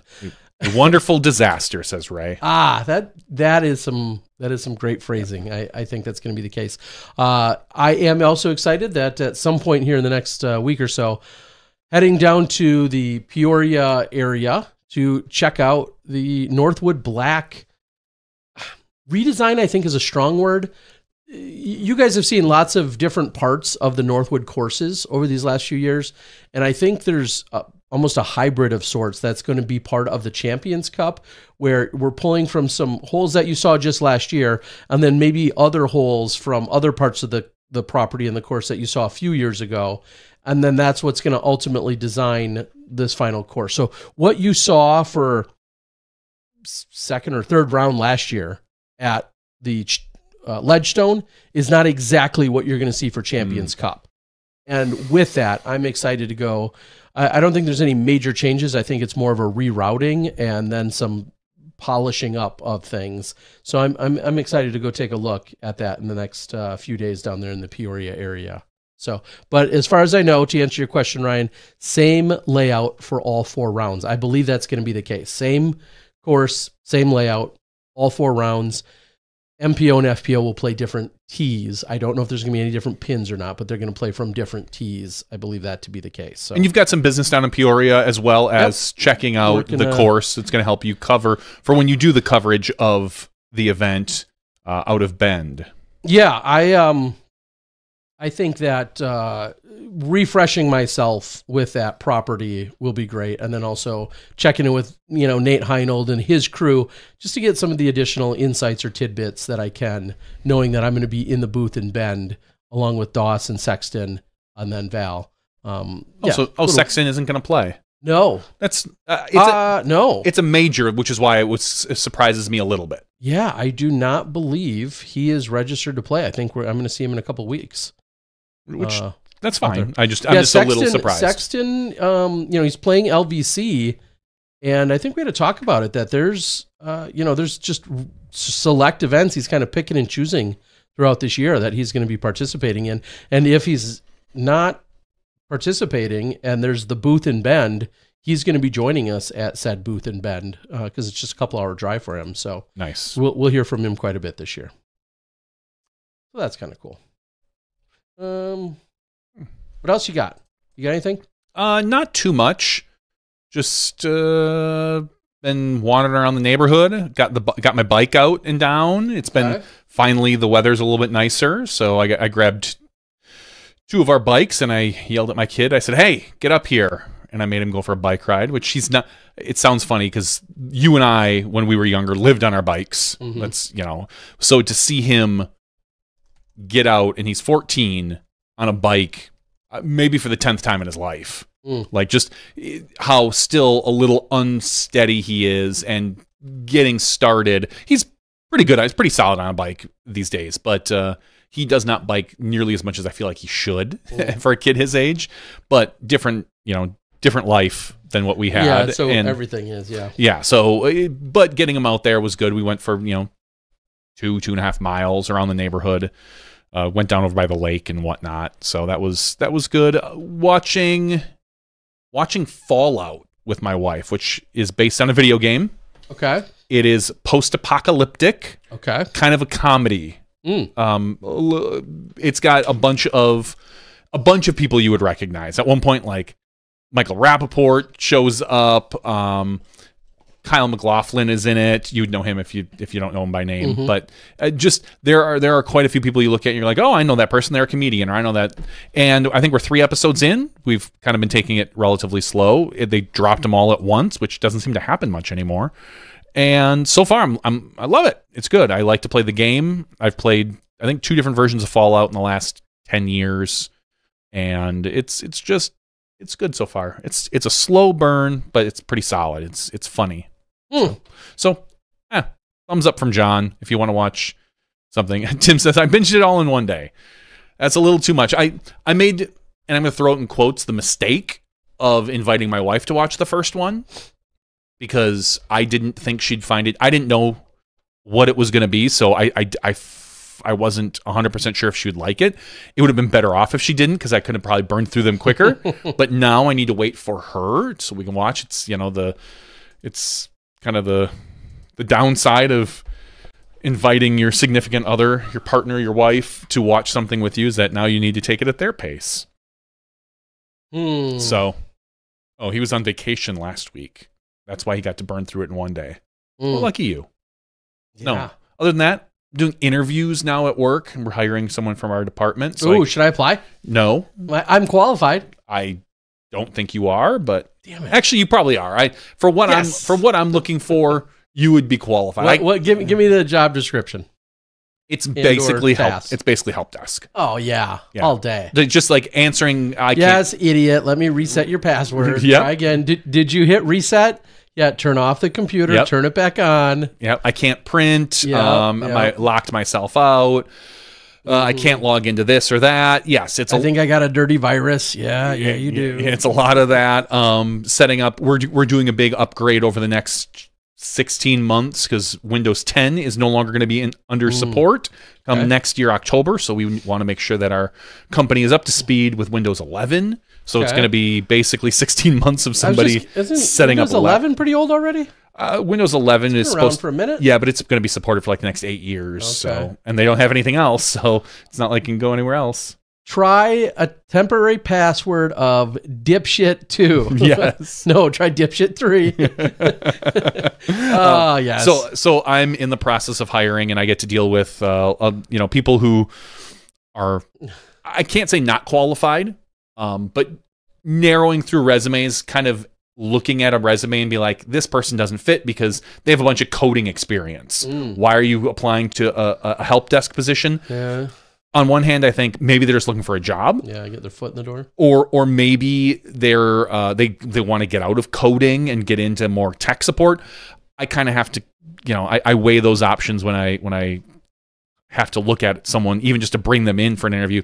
Then, as always, you get the typical: someone says they're going to show up, they never do, or they cancel at last minute. You have an interview with someone who's decent, and then you get their salary requirements, and you're like, "Oh hell no!" like, there's no way you're making six figures at this job, buddy. Um, it's it's a lot of that. So it's right now it's finding the right person for the right position. All right, I'll submit. Go, go come on, bring it on, Tara. Can I work remotely No, part time? no, no. Damn it. Part of the stipulation, and I've been Are stouts involved? Which is there? Uh, it could be. I mean, I've been telling people, even though it is a job that, other than the computer setup, could be done remotely. I I require three months of on site. Like you, have for three months, you need to work on site before all I right, trust all right. you As long as we're, as long as I start in to be able to. October, I could work October, November, December. I could be there. I still don't think you could. And then I then then I go to Thailand for you know four to six weeks. But that that would work. That would work. I'm a Uh. night owl. I could still help. Yeah, yeah. We could we could make this work. Uh, Jim says you're looking for remote work full time. Um, n- again, no remote, at least not for three months. Um, we had a bad experience with uh, one of the employees we had a couple about a year ago, where they just started without even asking, just kind of started slowly working from home. And I was like, you might want to come in more often. And they didn't, and then saw them saw them post in the middle of the day that they were at the mall And I'm like, why are you posting this on your socials? Like where anyone can see not- it. Not bright. Like you're not a bright person. Hmm. And so that was uh, that that did not last much longer after Hmm. that. And so yeah. And it's gonna be a lot of setting up computers. See, I won't even post that I'm at the course or that That's good. I'm that I'm watching Harry Mack videos That or, that's or drinking stouts. I won't post any of that. Nobody. Well, you can watch uh, you can watch Harry Mack videos at work. Oh, okay. I, I see enough people do it today. I sat down at the Yeah, I mean, receptionist. I'm just listening. I don't even need to watch. I'm Yeah. just listening. Yeah, I, I saw. I sat down at the receptionist station today to to upgrade a little piece of software because we're getting a new like attendant console, and there she had Star Wars. She was literally watching Star Wars on her phone. It just had it sitting right under her monitor. And granted, she's a receptionist. She does specific things. She has a chance to answer phones, and and she's just like, oh yeah, sorry, I just kind of have that on in the background while I work. And I'm like, I, don't care. But Hmm. y- at this day and age, you walk around an office, and I bet you out of 20 people, 25 people in our office, eight of them have a phone sitting there playing something. Hmm. It's, yeah. So uh, it's it, it's a different it's a different beast than uh, it was 10 years ago. Yeah, certainly sounds like it. um, yeah, I guess it's not really worth getting too far into, but one of the other, uh, if we're backing up and only because I saw it on Facebook earlier today, uh, I, I I don't know what the the input entirely looks like and how it goes down. One of the areas of opportunity for improvement is also some of the uh, marking for the distances. And I know we I, I went off on a big thing about Kristin being inside or outside the circle. Even just some of the other distances that are closer to the pin. And I think I don't know if that's a training opportunity to say, hey, Mhm. the the you know these uh, uh, are they red? The red usually red. Uh, red whiskers are 33 feet, and the blue ones are at 66 feet, and then the much closer ones, yellow or whatever color feet. those, yeah, or whatever are the bullseye. Like, I think that's been a an area of frustration, and it's not new because it's the PDGA's. Uh, it's just that now that exact distances are able are able to be put in, it be, makes it a little more glaring or obvious. It feels like when one is significantly Mm. off. There's a time you're watching somebody putt that is they, they they take seven steps to the pin, but it's showing up that it's from four feet or Yeah. whatever the case might be. That clearly that falls back on on empowering the volunteers and or making sure that they're fully up to speed and educated. And that part of that plays into what you were saying earlier about the uh, the overall betting mechanism, but just in general, just in general, we love. You know, it becomes a little disingenuous if you look at some of the year-end stats, which we put a lot of stock into now, and some of those year-end accolades, you know, for C1X and for whatever, all these various stats. You obviously want them as accurate as possible, and I think I knew there was no way Marweed was that good. yeah, dude, that guy is at like a- like a seventy nine percent. oh God, I, you're giving him seventy He just brings wow. his own scorekeepers with him all the time. So I see him out there before he puts. He draws his own circle. Yeah, It's exactly. really weird. They're clearly eight feet closer. yeah, it's uh, so that all goes into it, and uh, part of the of a of a learning slash you know growing pain slash learning curve, uh, maybe an area of opportunity for for just education of. You know, we talked about it. Is is it tough to get volunteers, let alone make sure Qualified that they're fully up to speed with all of these And then they want But- six figures. It's amazing. so it's uh it, it's an opportunity uh for sure. Uh, I I would say overall. All right. Um uh Tim, I, I'm not clever enough to even think of uh, Tim asked what would be my three words for Harry Mack. Um, I, I don't know. It's funny. I've, I, I haven't put a lot of thought into it, but it, he obviously challenges people as a freestyle rapper. He challenges people to give him three of the most creative words. And then he always says, no food, no names, or no animals.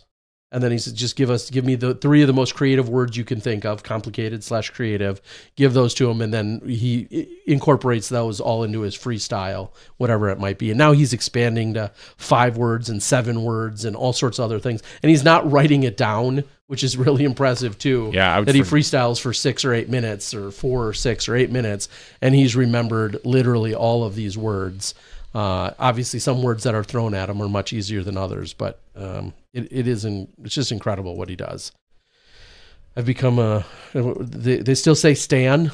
I, I love watching all these trendy words go in and out of in and out of uh, fad or, or popularity. so AB quickly. dropped the word today. He's like, flowers is the new one. yeah, flowers. you have to be giving flowers, and I I'm not gonna lie, I appreciate that he said those really nice Yeah. things about me. But in general, yeah, flowers is absolutely. I, I hadn't heard that before, oh but I yeah, knew that's gonna come and go. I, I knew exactly what it quickly. meant, but Yeah, yeah. Funny enough, I was watching a Harry Mack video not too long ago. That's where I heard it for the first time, and it's absolutely like here right now. Mm-hmm. Um, dying off from the kids though is trust or tr- which is like just basically short for trust, but like trust me or for sure.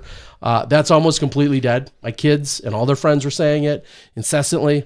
oh, drip. Still, Uh, people still have drip. No, no, Riz. I, I, I don't even know if you hear is- Riz even as much No. anymore. that that was so like three months ago. uh, but but trust like uh, dead ass I, I feel like is dying a little uh, that one's definitely falling uh, so it's funny because as obviously a father of of, of Hmm. Two trendy 13 kids. yeah a 13 and, and 15 year old girl girls i hear them all to the point where i want to slap their faces i'm like i'm so sick of hearing these current words Mm-hmm. and then the the humor in them being completely out of their vocabulary two months later Yeah, it's this type of thing goes so much faster than when we were kids. Like the trends. I mean, we had words that we like rad, cool, tubular too no, I know Radical. Ra- radical. Rad was the one. Like Rad was definitely one of them. rad was one of them. Uh think those words would last a year, year and a half. But the, today all it takes is one influencer to use one set of word and then boom, it's gone. And Yeah. it, I, these trends now go so fast, and, and and again, I don't know if I if I should be happy or sad that my son is so far out of these loops. Like Mm. I think he hears some of the words at school, but I've never once heard him try to use a trendy word in his Oh, wow. whole Yeah, okay. life because he doesn't have a TikTok. He doesn't care no. about that. If he's watching videos, it's probably something dumb on YouTube, like a Minecraft video or or maybe a Fortnite video, even though he doesn't play really Fortnite anymore. But and he just isn't in that Sure. area of of like hip cool words. Well, it's all these kids. Uh, Carney says my kids say mid. Mid has d- all but died. Yeah, mid- Uh, it, it I- it's well, there, I- but it's I heard it on a sports broadcast the other day. Someone they were it was like a talking head show, and someone was like, "Well, what do you think about this?" And someone, eh. what, like an adult, was like, "It was really mid." well that that tells you And that that adult is out of the Oh, loop because it's right. A hundred 'Cause they're percent. Using it. The minute I hear that on a sports broadcast, I know nobody else is saying that not anymore. Yeah. because hundred percent. I've always said by the time practically we learn what it is, it's, no already longer out of cool. Well, yeah, sus is is pretty much dead. Thank God. Uh, I, Mm-hmm. I'm good with that. Low key, I think low key has been around so much Oh, it's a- longer than it will continue to be around because I don't know that it was as overplayed. Sure, and it and it's, more it's kind of been around longer. But kids for a little while, everything with low key this, low key that, low key it, like yeah. uh, it'll continue. I think it'll be it'll stick around, but it, it won't. It certainly isn't going to die off as quickly as mid or sus are. Uh, I think Carney has it backwards. He says basic is the new mid. Mid was the replacement for basic. Like I was hearing basic a year, two years ago. Like that's just You're that's so basic. That's so basic. Like I, I, I think I, yeah, similar but different. Yeah, yeah, I guess. yeah. There's based, which I yeah. Anyway, so Hmm. is is bodacious still in? Yes, Tim. Tim, I, I bodacious is. Yes. I, I will admit one of the things that I no longer do that uh, uh, Dixon Jowers put out there many years ago in the early days of live broadcasting.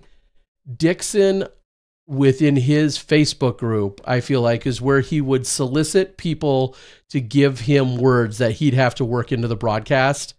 And a few times I played along with it, or some people people would give them to me. That's when we had far more creative latitude. Yeah. and you I- could still do it. and I still could, es- especially if I was good at it. Uh, but um, yeah, it's it, that those were those were some fun times. And then you because we were always on YouTube for free every single broadcast, there would always then be the almost the immediate reaction to like, oh yeah, yeah, Here's- you got it in. I've got it, Terry. Here's what we need.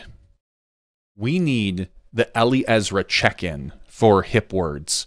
She's like the youngest, one of the youngest women on tour. She's Okay. probably the most connected but, up. but not on socials. You don't think she's Oh no, I know she's not. Like, Okay. like the, I think there was a real push to just get her an Instagram account in the last few months. She wasn't on any socials. I, I didn't know if she That's just not how. if she was roll. just more hidden and and no, took in. she was just wasn't on. well, then that's not going to work. no, I was because I was trying to think of someone who's really young that's on tour. Um, AB's already an old man. yeah, he's yeah, out of all- college. or Twenty four. Yeah, he's He might as well be retired exactly. Uh, because he seems like one Uh, of the there- cooler kids on tour. Cadence Burge. There you go. Cadence. Yeah, sure. We could maybe get Cadence, the, She- the Cadence Burge check in. Yeah, she's What's the have to- cadence? exactly. She's gonna have to give us all the uh, cadence. the If you wanna, if you want to figure out what the cool words kids are saying and let us know, and maybe with a maybe with a definition, please too, or give us the word and we have to guess the definition. There you go. That that would be a good one for the pro tour to do uh, at some of the pressers. Is when they get all the players. We're just together. giving them ideas. Yeah, that's way to go. Uh, I don't know. Um, uh, LOL. He did an entire round of Ledgestone, working in hundreds of Arrested Development quotes with me. I, I yeah, I believe it, and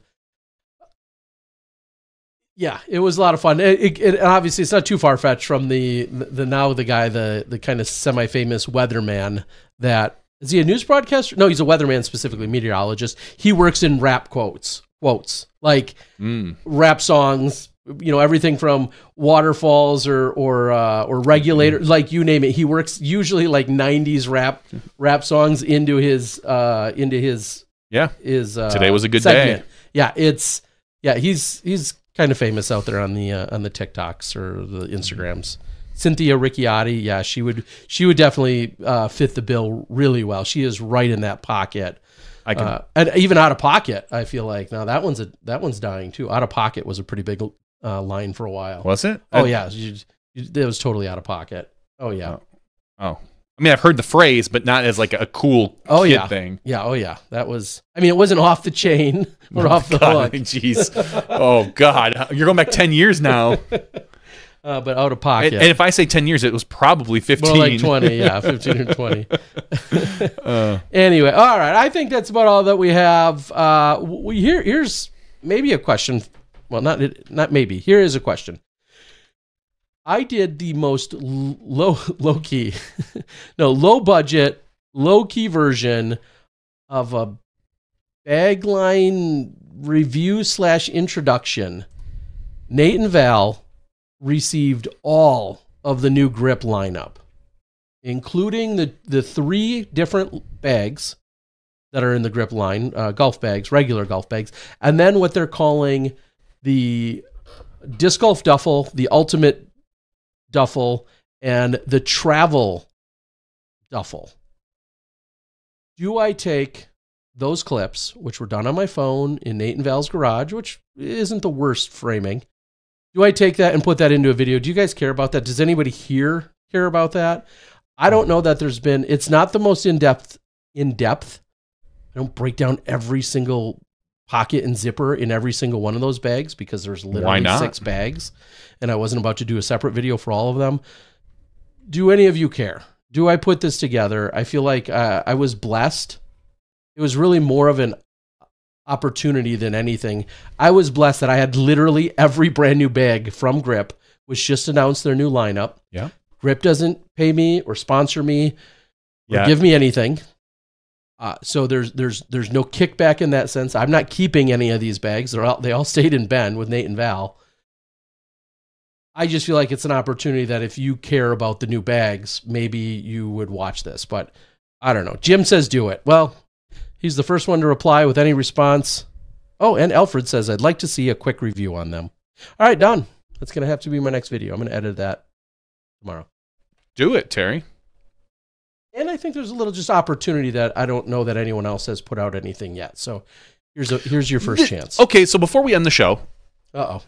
Phil- Bob Goike coming out of Wisconsin says Philosophical debate. People would watch it, not him. one of the big hot takes yesterday on the socials mm, was key dead ass. no.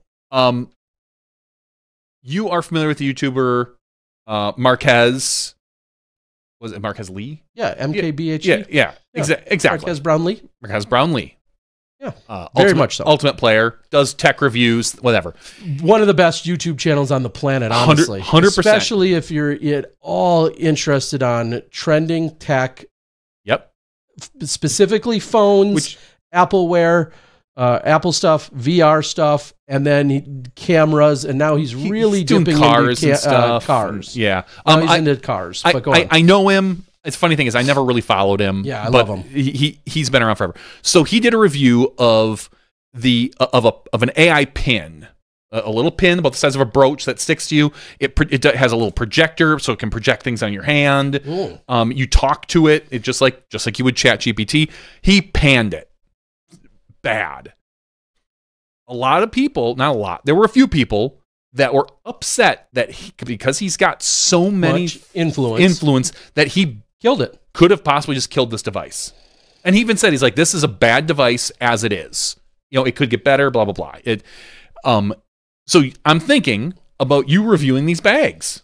And that's where I draw a line Like at. like like it, if they yeah. were legitimately bad bags, Mhm. would you say that? Like like honestly guys, I, I wouldn't recommend these or if they're I mean clearly if they're legitimately good bags, which I think they probably are from Grip, they they have a really good history.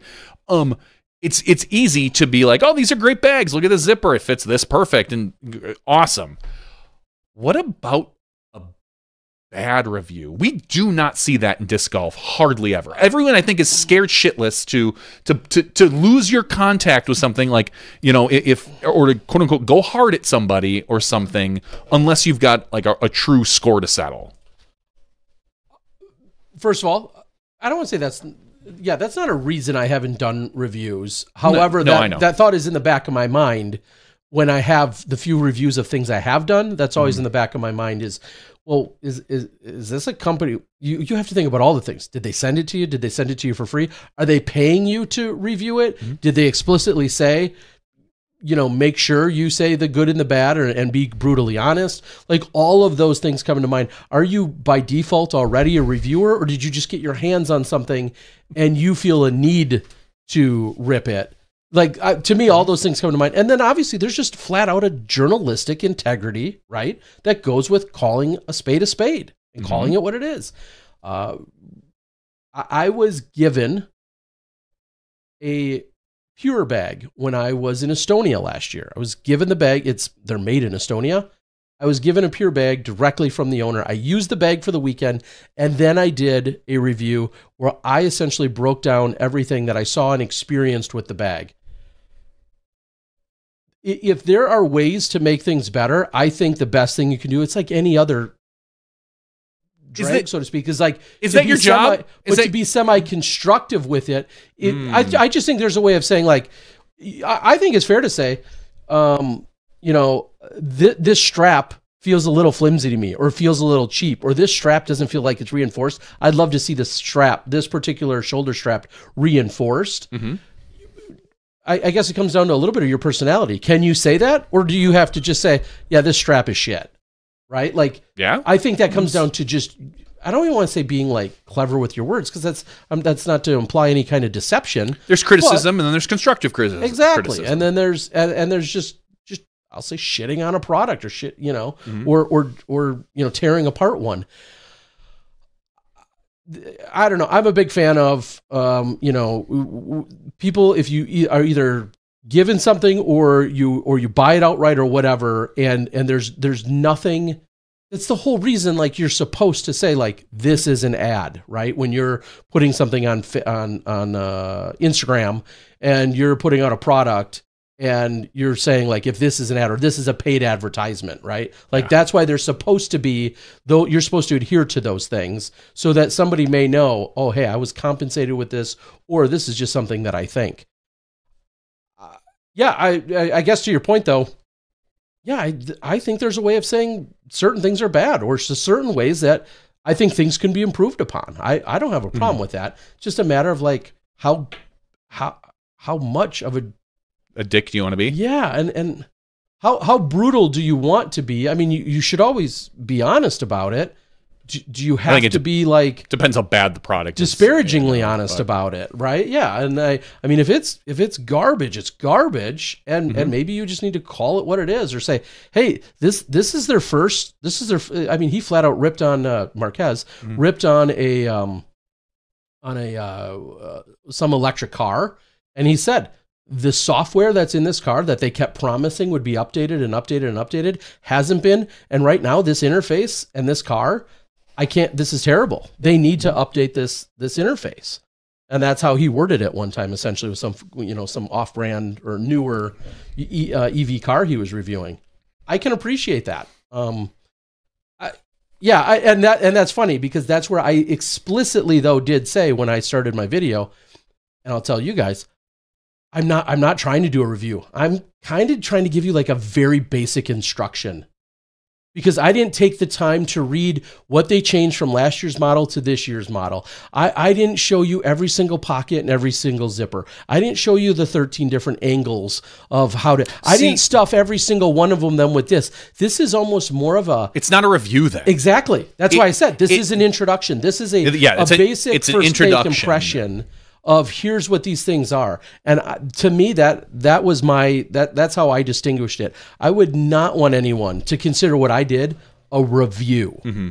because it wasn't. Yeah. This is a first impression. Yeah, it and it does bother me sometimes when you see reviews like day one reviews of a product. Like oh, someone see, Yeah, I got this this morning. Eh, like that's not a review. Like you, No, you a have first not, impression. Yeah, you have not used that product. You have not like. If I were to review a bag, I would want to use it for like two weeks, maybe every day on a course. or at least a couple tournament Yeah. rounds or Yeah. it, it depends on what you think you're going to be Mm-hmm. most accenting and or and or highlighting are you trying are you trying to highlight because they're really big on capacity or are they trying to highlight Mm-hmm. on uh, on accessibility or are they trying to highlight on durability because you're right you, you're not going to get that from one weekend you're not going to know just how durable it is from one weekend You won't even know how durable it is after two weeks. Like the, Exactly. most bags will last at least a few months uh, before they start showing wear, and and if it doesn't, then sure, then you definitely have a durability issue. But you know, what is a durable bag? You know, I, I've got two bags hanging up right behind the camera there, um, one of which lasted me 10, 12, 13 years and could still keep going. It's just an old backpack bag. You know, it's it's an old regular bag that we put backpack straps on, and great. You know, it's still working. It's still durable. There's no holes in it. You know, what? So, what is the life? What should your bag go? If if I get, you know, I think I'm I'm rolling with a Squatch bag now. How This is long? not a paid advertisement by Squatch No. or Grip. no, but it should be. So, if you guys want to pay us, we you know we'll take your money and we'll say whatever you want. Well, you can. I, I, I cannot, in good consciousness, review or talk about the Squatch bag. I haven't, I haven't used it. You can. No, I, I- I know. I'm, that's what I'm saying. If they pay you, you can do it. Just- um, and and again, I've it, it it's it works great. I have a few tiny little complaints I have with it, but Sure. I, I would have to literally Twitter. yeah take it to I'll, I'll take it right to social medias and complain and you know bla- put them on blast. Yeah. you can still say that, right? Hot take. hot hot take. Um, but all, overall, I like the bag. It's it's it's good. But like, oh, what I was getting at is how long should that bag last me before it wears out? It do I compare it to a 15 year Revolution bag that I had, or 10 years, or it is a modern bag only supposed to last five years? I don't even know. uh, To be honest, and Yeah. and from someone like me that doesn't golf nearly as much as I used to, that Revolution bag got a lot of rounds. This Squatch bag that I bought two years ago, maybe a dozen rounds so far. Yeah, and and so, So- even that saying like, well, it's lasted me two years. Well, it, it's only lasted me 12 rounds. exactly, And it's still in perfect condition. You wouldn't like it, it- you would hardly even know. yeah, I mean, yeah that, So, that's uh, where I th- think trying to disclose those things and just just being as upfront about some of those things Of as course. possible. Well, I've had this for two years. Look at it. It's like yeah, like you said, you played twelve rounds with it. Uh, how much action did it really see? So anyway, that that that's why I I think I specifically said this is not a review. Good. This is more of a first impression unboxing, first impression more than anything about here it is um, because I didn't do all the in depth, and all I thought was, man, yeah, if I want to do an in depth, like I'm talking multiple angles, I'm talking individual bags, I'm talking about what you know, being familiar with the previous bags to see where the upgrades were. I wasn't about to do all of that. I, no hell's no. That's not just really the style of my channel. Anyway, my Revolution bag has a few more decades left in it. Yeah, depending on your, especially depending on your play and frequency. Um, I could see that. Uh, Disc Golf Robot says, let's face it, Terry is most up to date on what the hip kids are Well, saying. I, I wouldn't doubt that because you have two I have teenage two daughters. teenage daughters. So So, who- I, who- whether I want to or not, I hear, Yeah. I, I hear a lot of it. Uh, still throwing a sali- salient antidote, antidote, uh, two, best finesse disc ever. Uh, here's a quick thing I actually learned this weekend. Okay, Terry. Nate Doss said a word this weekend, Nate Doss says words. and I paused, and it wasn't until the next day I had to Google it. And I thought, am I saying it wrong, or is Nate Doss saying it wrong? What? Oh, God. Well, how did I guess the how did Nate Doss say this word? Nate Doss said lackadaisical. I think that's wrong. I think, it's, right. really. I thought it was lax. So did I. But is it lackadaisical? I'm gonna look it up again. Oh, okay. Uh, I mean, he, he he he could very well be right. I've always pronounced it lackadaisical. so have I. like Like Not- almost LAX. almost LAX, but probably it's probably LACS or something. But there's no S there. You're it's right. L A C K A. Lackadaisical. Okay. He's right. I would have been wrong. Lackadaisical. Okay. I'll have to correct myself. I've been wrong all my life. Nothing new one. there. Yeah. There's a lot of things I've been wrong with. Uh, he said it. I paused. I remember the camera wasn't on us at the time, but I remember being in the booth. He said it, and I paused. I'm like,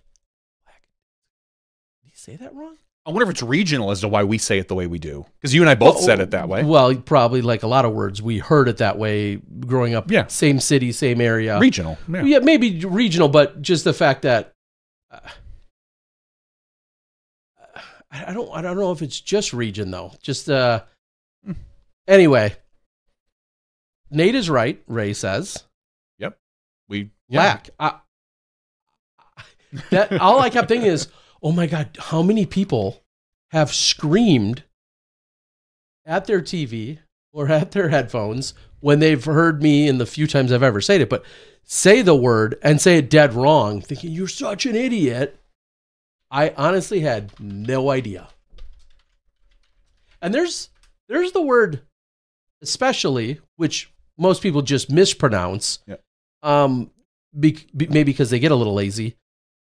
And then there's lackadaisical, which I just thought was lax.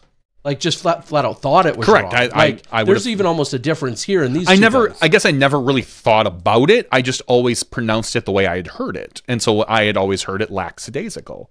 And clearly that is incorrect. anyway, so Well, good. Now I know. folks, we're all learning here. That, that's the good news. Uh, lack, bone, bone apple tea. I don't think that's like Bon Appetit. Uh, I don't think pop soda or Coke. Th- that that's a regional like. Coke is regional because I think everyone went down in the Atlanta area, Georgia area says Coke because that was the primary soda there, and they have such a huge uh, influence in that area, and and it obviously went down south. But pop and soda, um, Again, hundred percent regional. yeah, like we, us and like Wisconsin was pop. yeah, uh, us and Minnesota is pop. Yeah, I think yeah that, and I think like Pennsylvania or something dumb. There's Yeah. like one state that calls it pop, and I I'm, I haven't called it pop in forever. Well, and, I call and it I, soda, and I don't. I, I officially made the changeover in working at Subway. Mm. I called it. It was pop in our Yeah, family had- all of my life. here. Johnny and I, growing up, if if we would ever talk, we would have said, "Hey, you want to pop?" That was one hundred percent. However, it Yep. got changed when I worked at Subway, and you would say, "Would you like chips, soda, or cookies?" As as you're checking, you know, someone out and, and working the register, Not chips, and then pop. f- yeah, and then forever it just got changed in my Sure, in in your- but for the first 14 years of my life, and everyone else, and plenty of mm-hmm. people Yeah. in in the state, especially in Wisconsin, it was pop. And I wonder if they still say pop. I wonder if I if you- know. I don't feel like I hear it anymore. I, I don't, and maybe it's because we're in Milwaukee, and, and pop is more regional, even to northeastern Wisconsin. yeah, so it's uh sody pop. So yeah, that's kind of funny that way. Uh, Ray says, "Do you like having two Nates in the booth? Got to be annoying over time." Annoying's not the word I would use. Uh, wh- that makes it sound like you're going to use a worse word or something. No, does it get sometimes congested and and do I always feel like we need three? And now that's no rip on on either of them or me. Take me out. Generally speaking, I feel like three feels a tad crowded sometimes. Sometimes I like I don't mind three because I feel like it almost forces you guys at times to let it breathe a little bit because you're maybe anticipating somebody else talking. Mm. So, you know, you'll get less of Doss while he's waiting for um, uh, Sexton to talk, or Sexton doesn't talk as much because Doss is going to have a, a thought, or you're putting in your you, you know your your 20 cents because um because you're steering the show. I don't mind three. Uh, you're there are times maybe when it gets a little more exciting that people want to talk more. Hmm but in general i have i personally have not noticed too much of a problem with a three person booth. What I am happy about about our three person booth when it does happen is I whether or not we have enough silence that you know I'm sure plenty could argue that what I- we don't often do is talk over each other. Uh, that isn't a problem for us, and that I can appreciate. Now, do we maybe still talk too much? Sure, but we we don't have a problem with talking over each other, and that's something I'm really proud of. Uh, and I feel like it's relatively Mm-hmm. natural. We're not I'm not like holding over. shut up! Shut up! Well- holding, holding someone's mouth at any point, but we don't talk over each other, and that and that I. I, that much I appreciate. you know my rule. I've told you this for years. Um you should definitely talk 10% less and when you do that you're probably still talking 10% too much. Yeah. uh, that's just and i think that goes for anybody in the booth. It's not just your booth. Ian and philo that same thing. Um uh, zoe and uh, uh uh jk everybody just everybody should talk less a little bit and see how it works. And then at that point you're pr- still probably talking 10% too much Yeah, and, and just the and way it to your point, almost never will you say, will you see? And now we only have chat for one of the three rounds. Almost never have I read this the phrasing on the chat that's uh, "Hey, we need more talking." no no just- one, no one has ever. I've never gotten that feedback. Could use a little more talking from so and so. None of us have ever gotten that feedback. So that that's where I agree with you. That sometimes it's nice to just sit back and watch what's going on, and uh, you know, sometimes you feel compelled to talk, but then sometimes you're like, no, I'm just gonna sit. Mm-hmm. You know, if somebody else says something great, and if we don't, let's just enjoy what we're doing. Ray was asking. He was actually meaning that the fact that they're both named Nate is that ever frustrating or confusing? Oh, that no. It does feel weird sometimes to just say "Hey Doss" or "Hey Sexton" if I do want to address one of them, but there's there's no smarter way to do it. No, I, I agree, and it's really funny because I, f- and and g- granted, my relationship is different with him, but I wouldn't call him Doss to his face. Like, hey Doss, how you doing? Like for me, that's he's Nate. But Sexton, I would call him Sexton. Sure. You Yeah, know, some people are just more It just linked to their last name versus their first. Correct. And it's not that Nate Doss isn't linked to his last name because I if I were talking about him in the third person, I would probably reference him as Doss. Mm. But if I were talking to him like in a booth, I would probably have to call him Doss just in that scenario, but in general to me he's Nate. But Nate Sexton I would probably say Sexton just because I do not know Nate Sexton nearly as well as I know Nate Doss. Yeah, and to be- worked with him. And to be fair, I I think a lot of people are far more inclined to say "Hey Sexton" as opposed to "Hey Nate." Well, at Yeah. least okay, maybe not a lot of people. I am also that way. Yeah. I am far more But- inclined to ever refer to him as "Hey, hey Sexton, Yeah. are you are you are we going out to dinner tonight? You know, Mhm. after after we you know do the show." I, I would say, "Hey Sexton." So if I even if I were looking right at him or, or trying to address him, Sure. goes hand in hand with the names.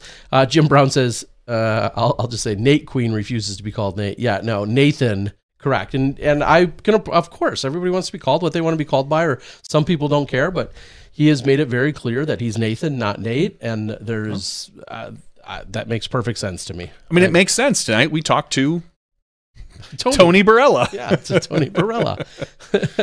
uh, what is this? We got a Oh, a we got a murder, murder. Mike coming in from Facebook. Murder, are you the one guy holding down Facebook out there? You're probably the only uh, one watching on that platform, but uh, hope you're doing good. Pilcher says, "Would you call him sexy?" behind his back. Look at that guy. He's sexy. Yeah. Now here, here- which is No. funny. One way that we could, if we really wanted to logistically maybe mitigate some of the the confusion or frustration of the Nate Nate scenario is if I sat in between them because then if I turned at any point during the broadcast, even if it's off camera, it would be more apparent who I was trying to address. Don't you sit between them? I don't. Oh, I sit on the Oh. end now. Oh, okay. I guess I haven't. I haven't seen you Yeah, guys in the booth forever. Yeah, I'm on the far uh, right, and then it goes Sexton and then Doss at the end. Oh no, that last putt drops. I turn that shit right off. I don't want to see you. I don't want to see you guys. Uh, so anyway, uh, that's how it's gone down. Uh, Terry in the booth with Big D and Sexy. Yeah, yeah, that's that, that's what that's what we call us, the Big D and the Sexy. I think we're calling it. Uh, if you don't guys have anything else for us, we are going to call it. We appreciate you guys. Oh, we didn't do a giveaway. Oh, you're right. Patreon.com slash SmashBoxxTV. Come on. If you want to sign up at patreon.com slash SmashBoxxTV, you will be entered into our weekly giveaway. This week, uh, we have 133 is that right? I think it's 133 people eligible. I'm looking. Yep. Yeah, there it is. Um, and I sorted it by email address. So Terry Miller, quickly give I would like the, the number, number 58,808. That's U.S. dollars to pay million pesos. So Hmm, that's not it. I'm I'm gonna AB's AB's one is third. I was going to do three. That's what I was about to say. All right. You so our first number is five. Our second number is 64. Our third and final number that we generate tonight is nine. Niner, Nine niner, times. 49er. So let's go to number nine. I don't even have to scroll anywhere. Barney. Davis. Congratulations, Barney Barney. Davis. I don't feel like I've sent anything to Barney Mm, maybe in a long time. So excited to do so. yeah. Thank you, Barney. Barney is uh, a Patreon supporter at a very high level. Thank you, Barney. Uh, we will get you. We will get you something out of Terry's personal disc golf bag. I'll steal it. Yeah. send it Yeah, out of my new bag review. out of his new bag my, review. my extensive, in-depth uh, grip EQ bag reviews. So thank you very much, Barney Davis. Yeah, seriously, we we do appreciate it. All right, a little over three hours. That's enough from us for this weekend. Enjoy the Music City Open.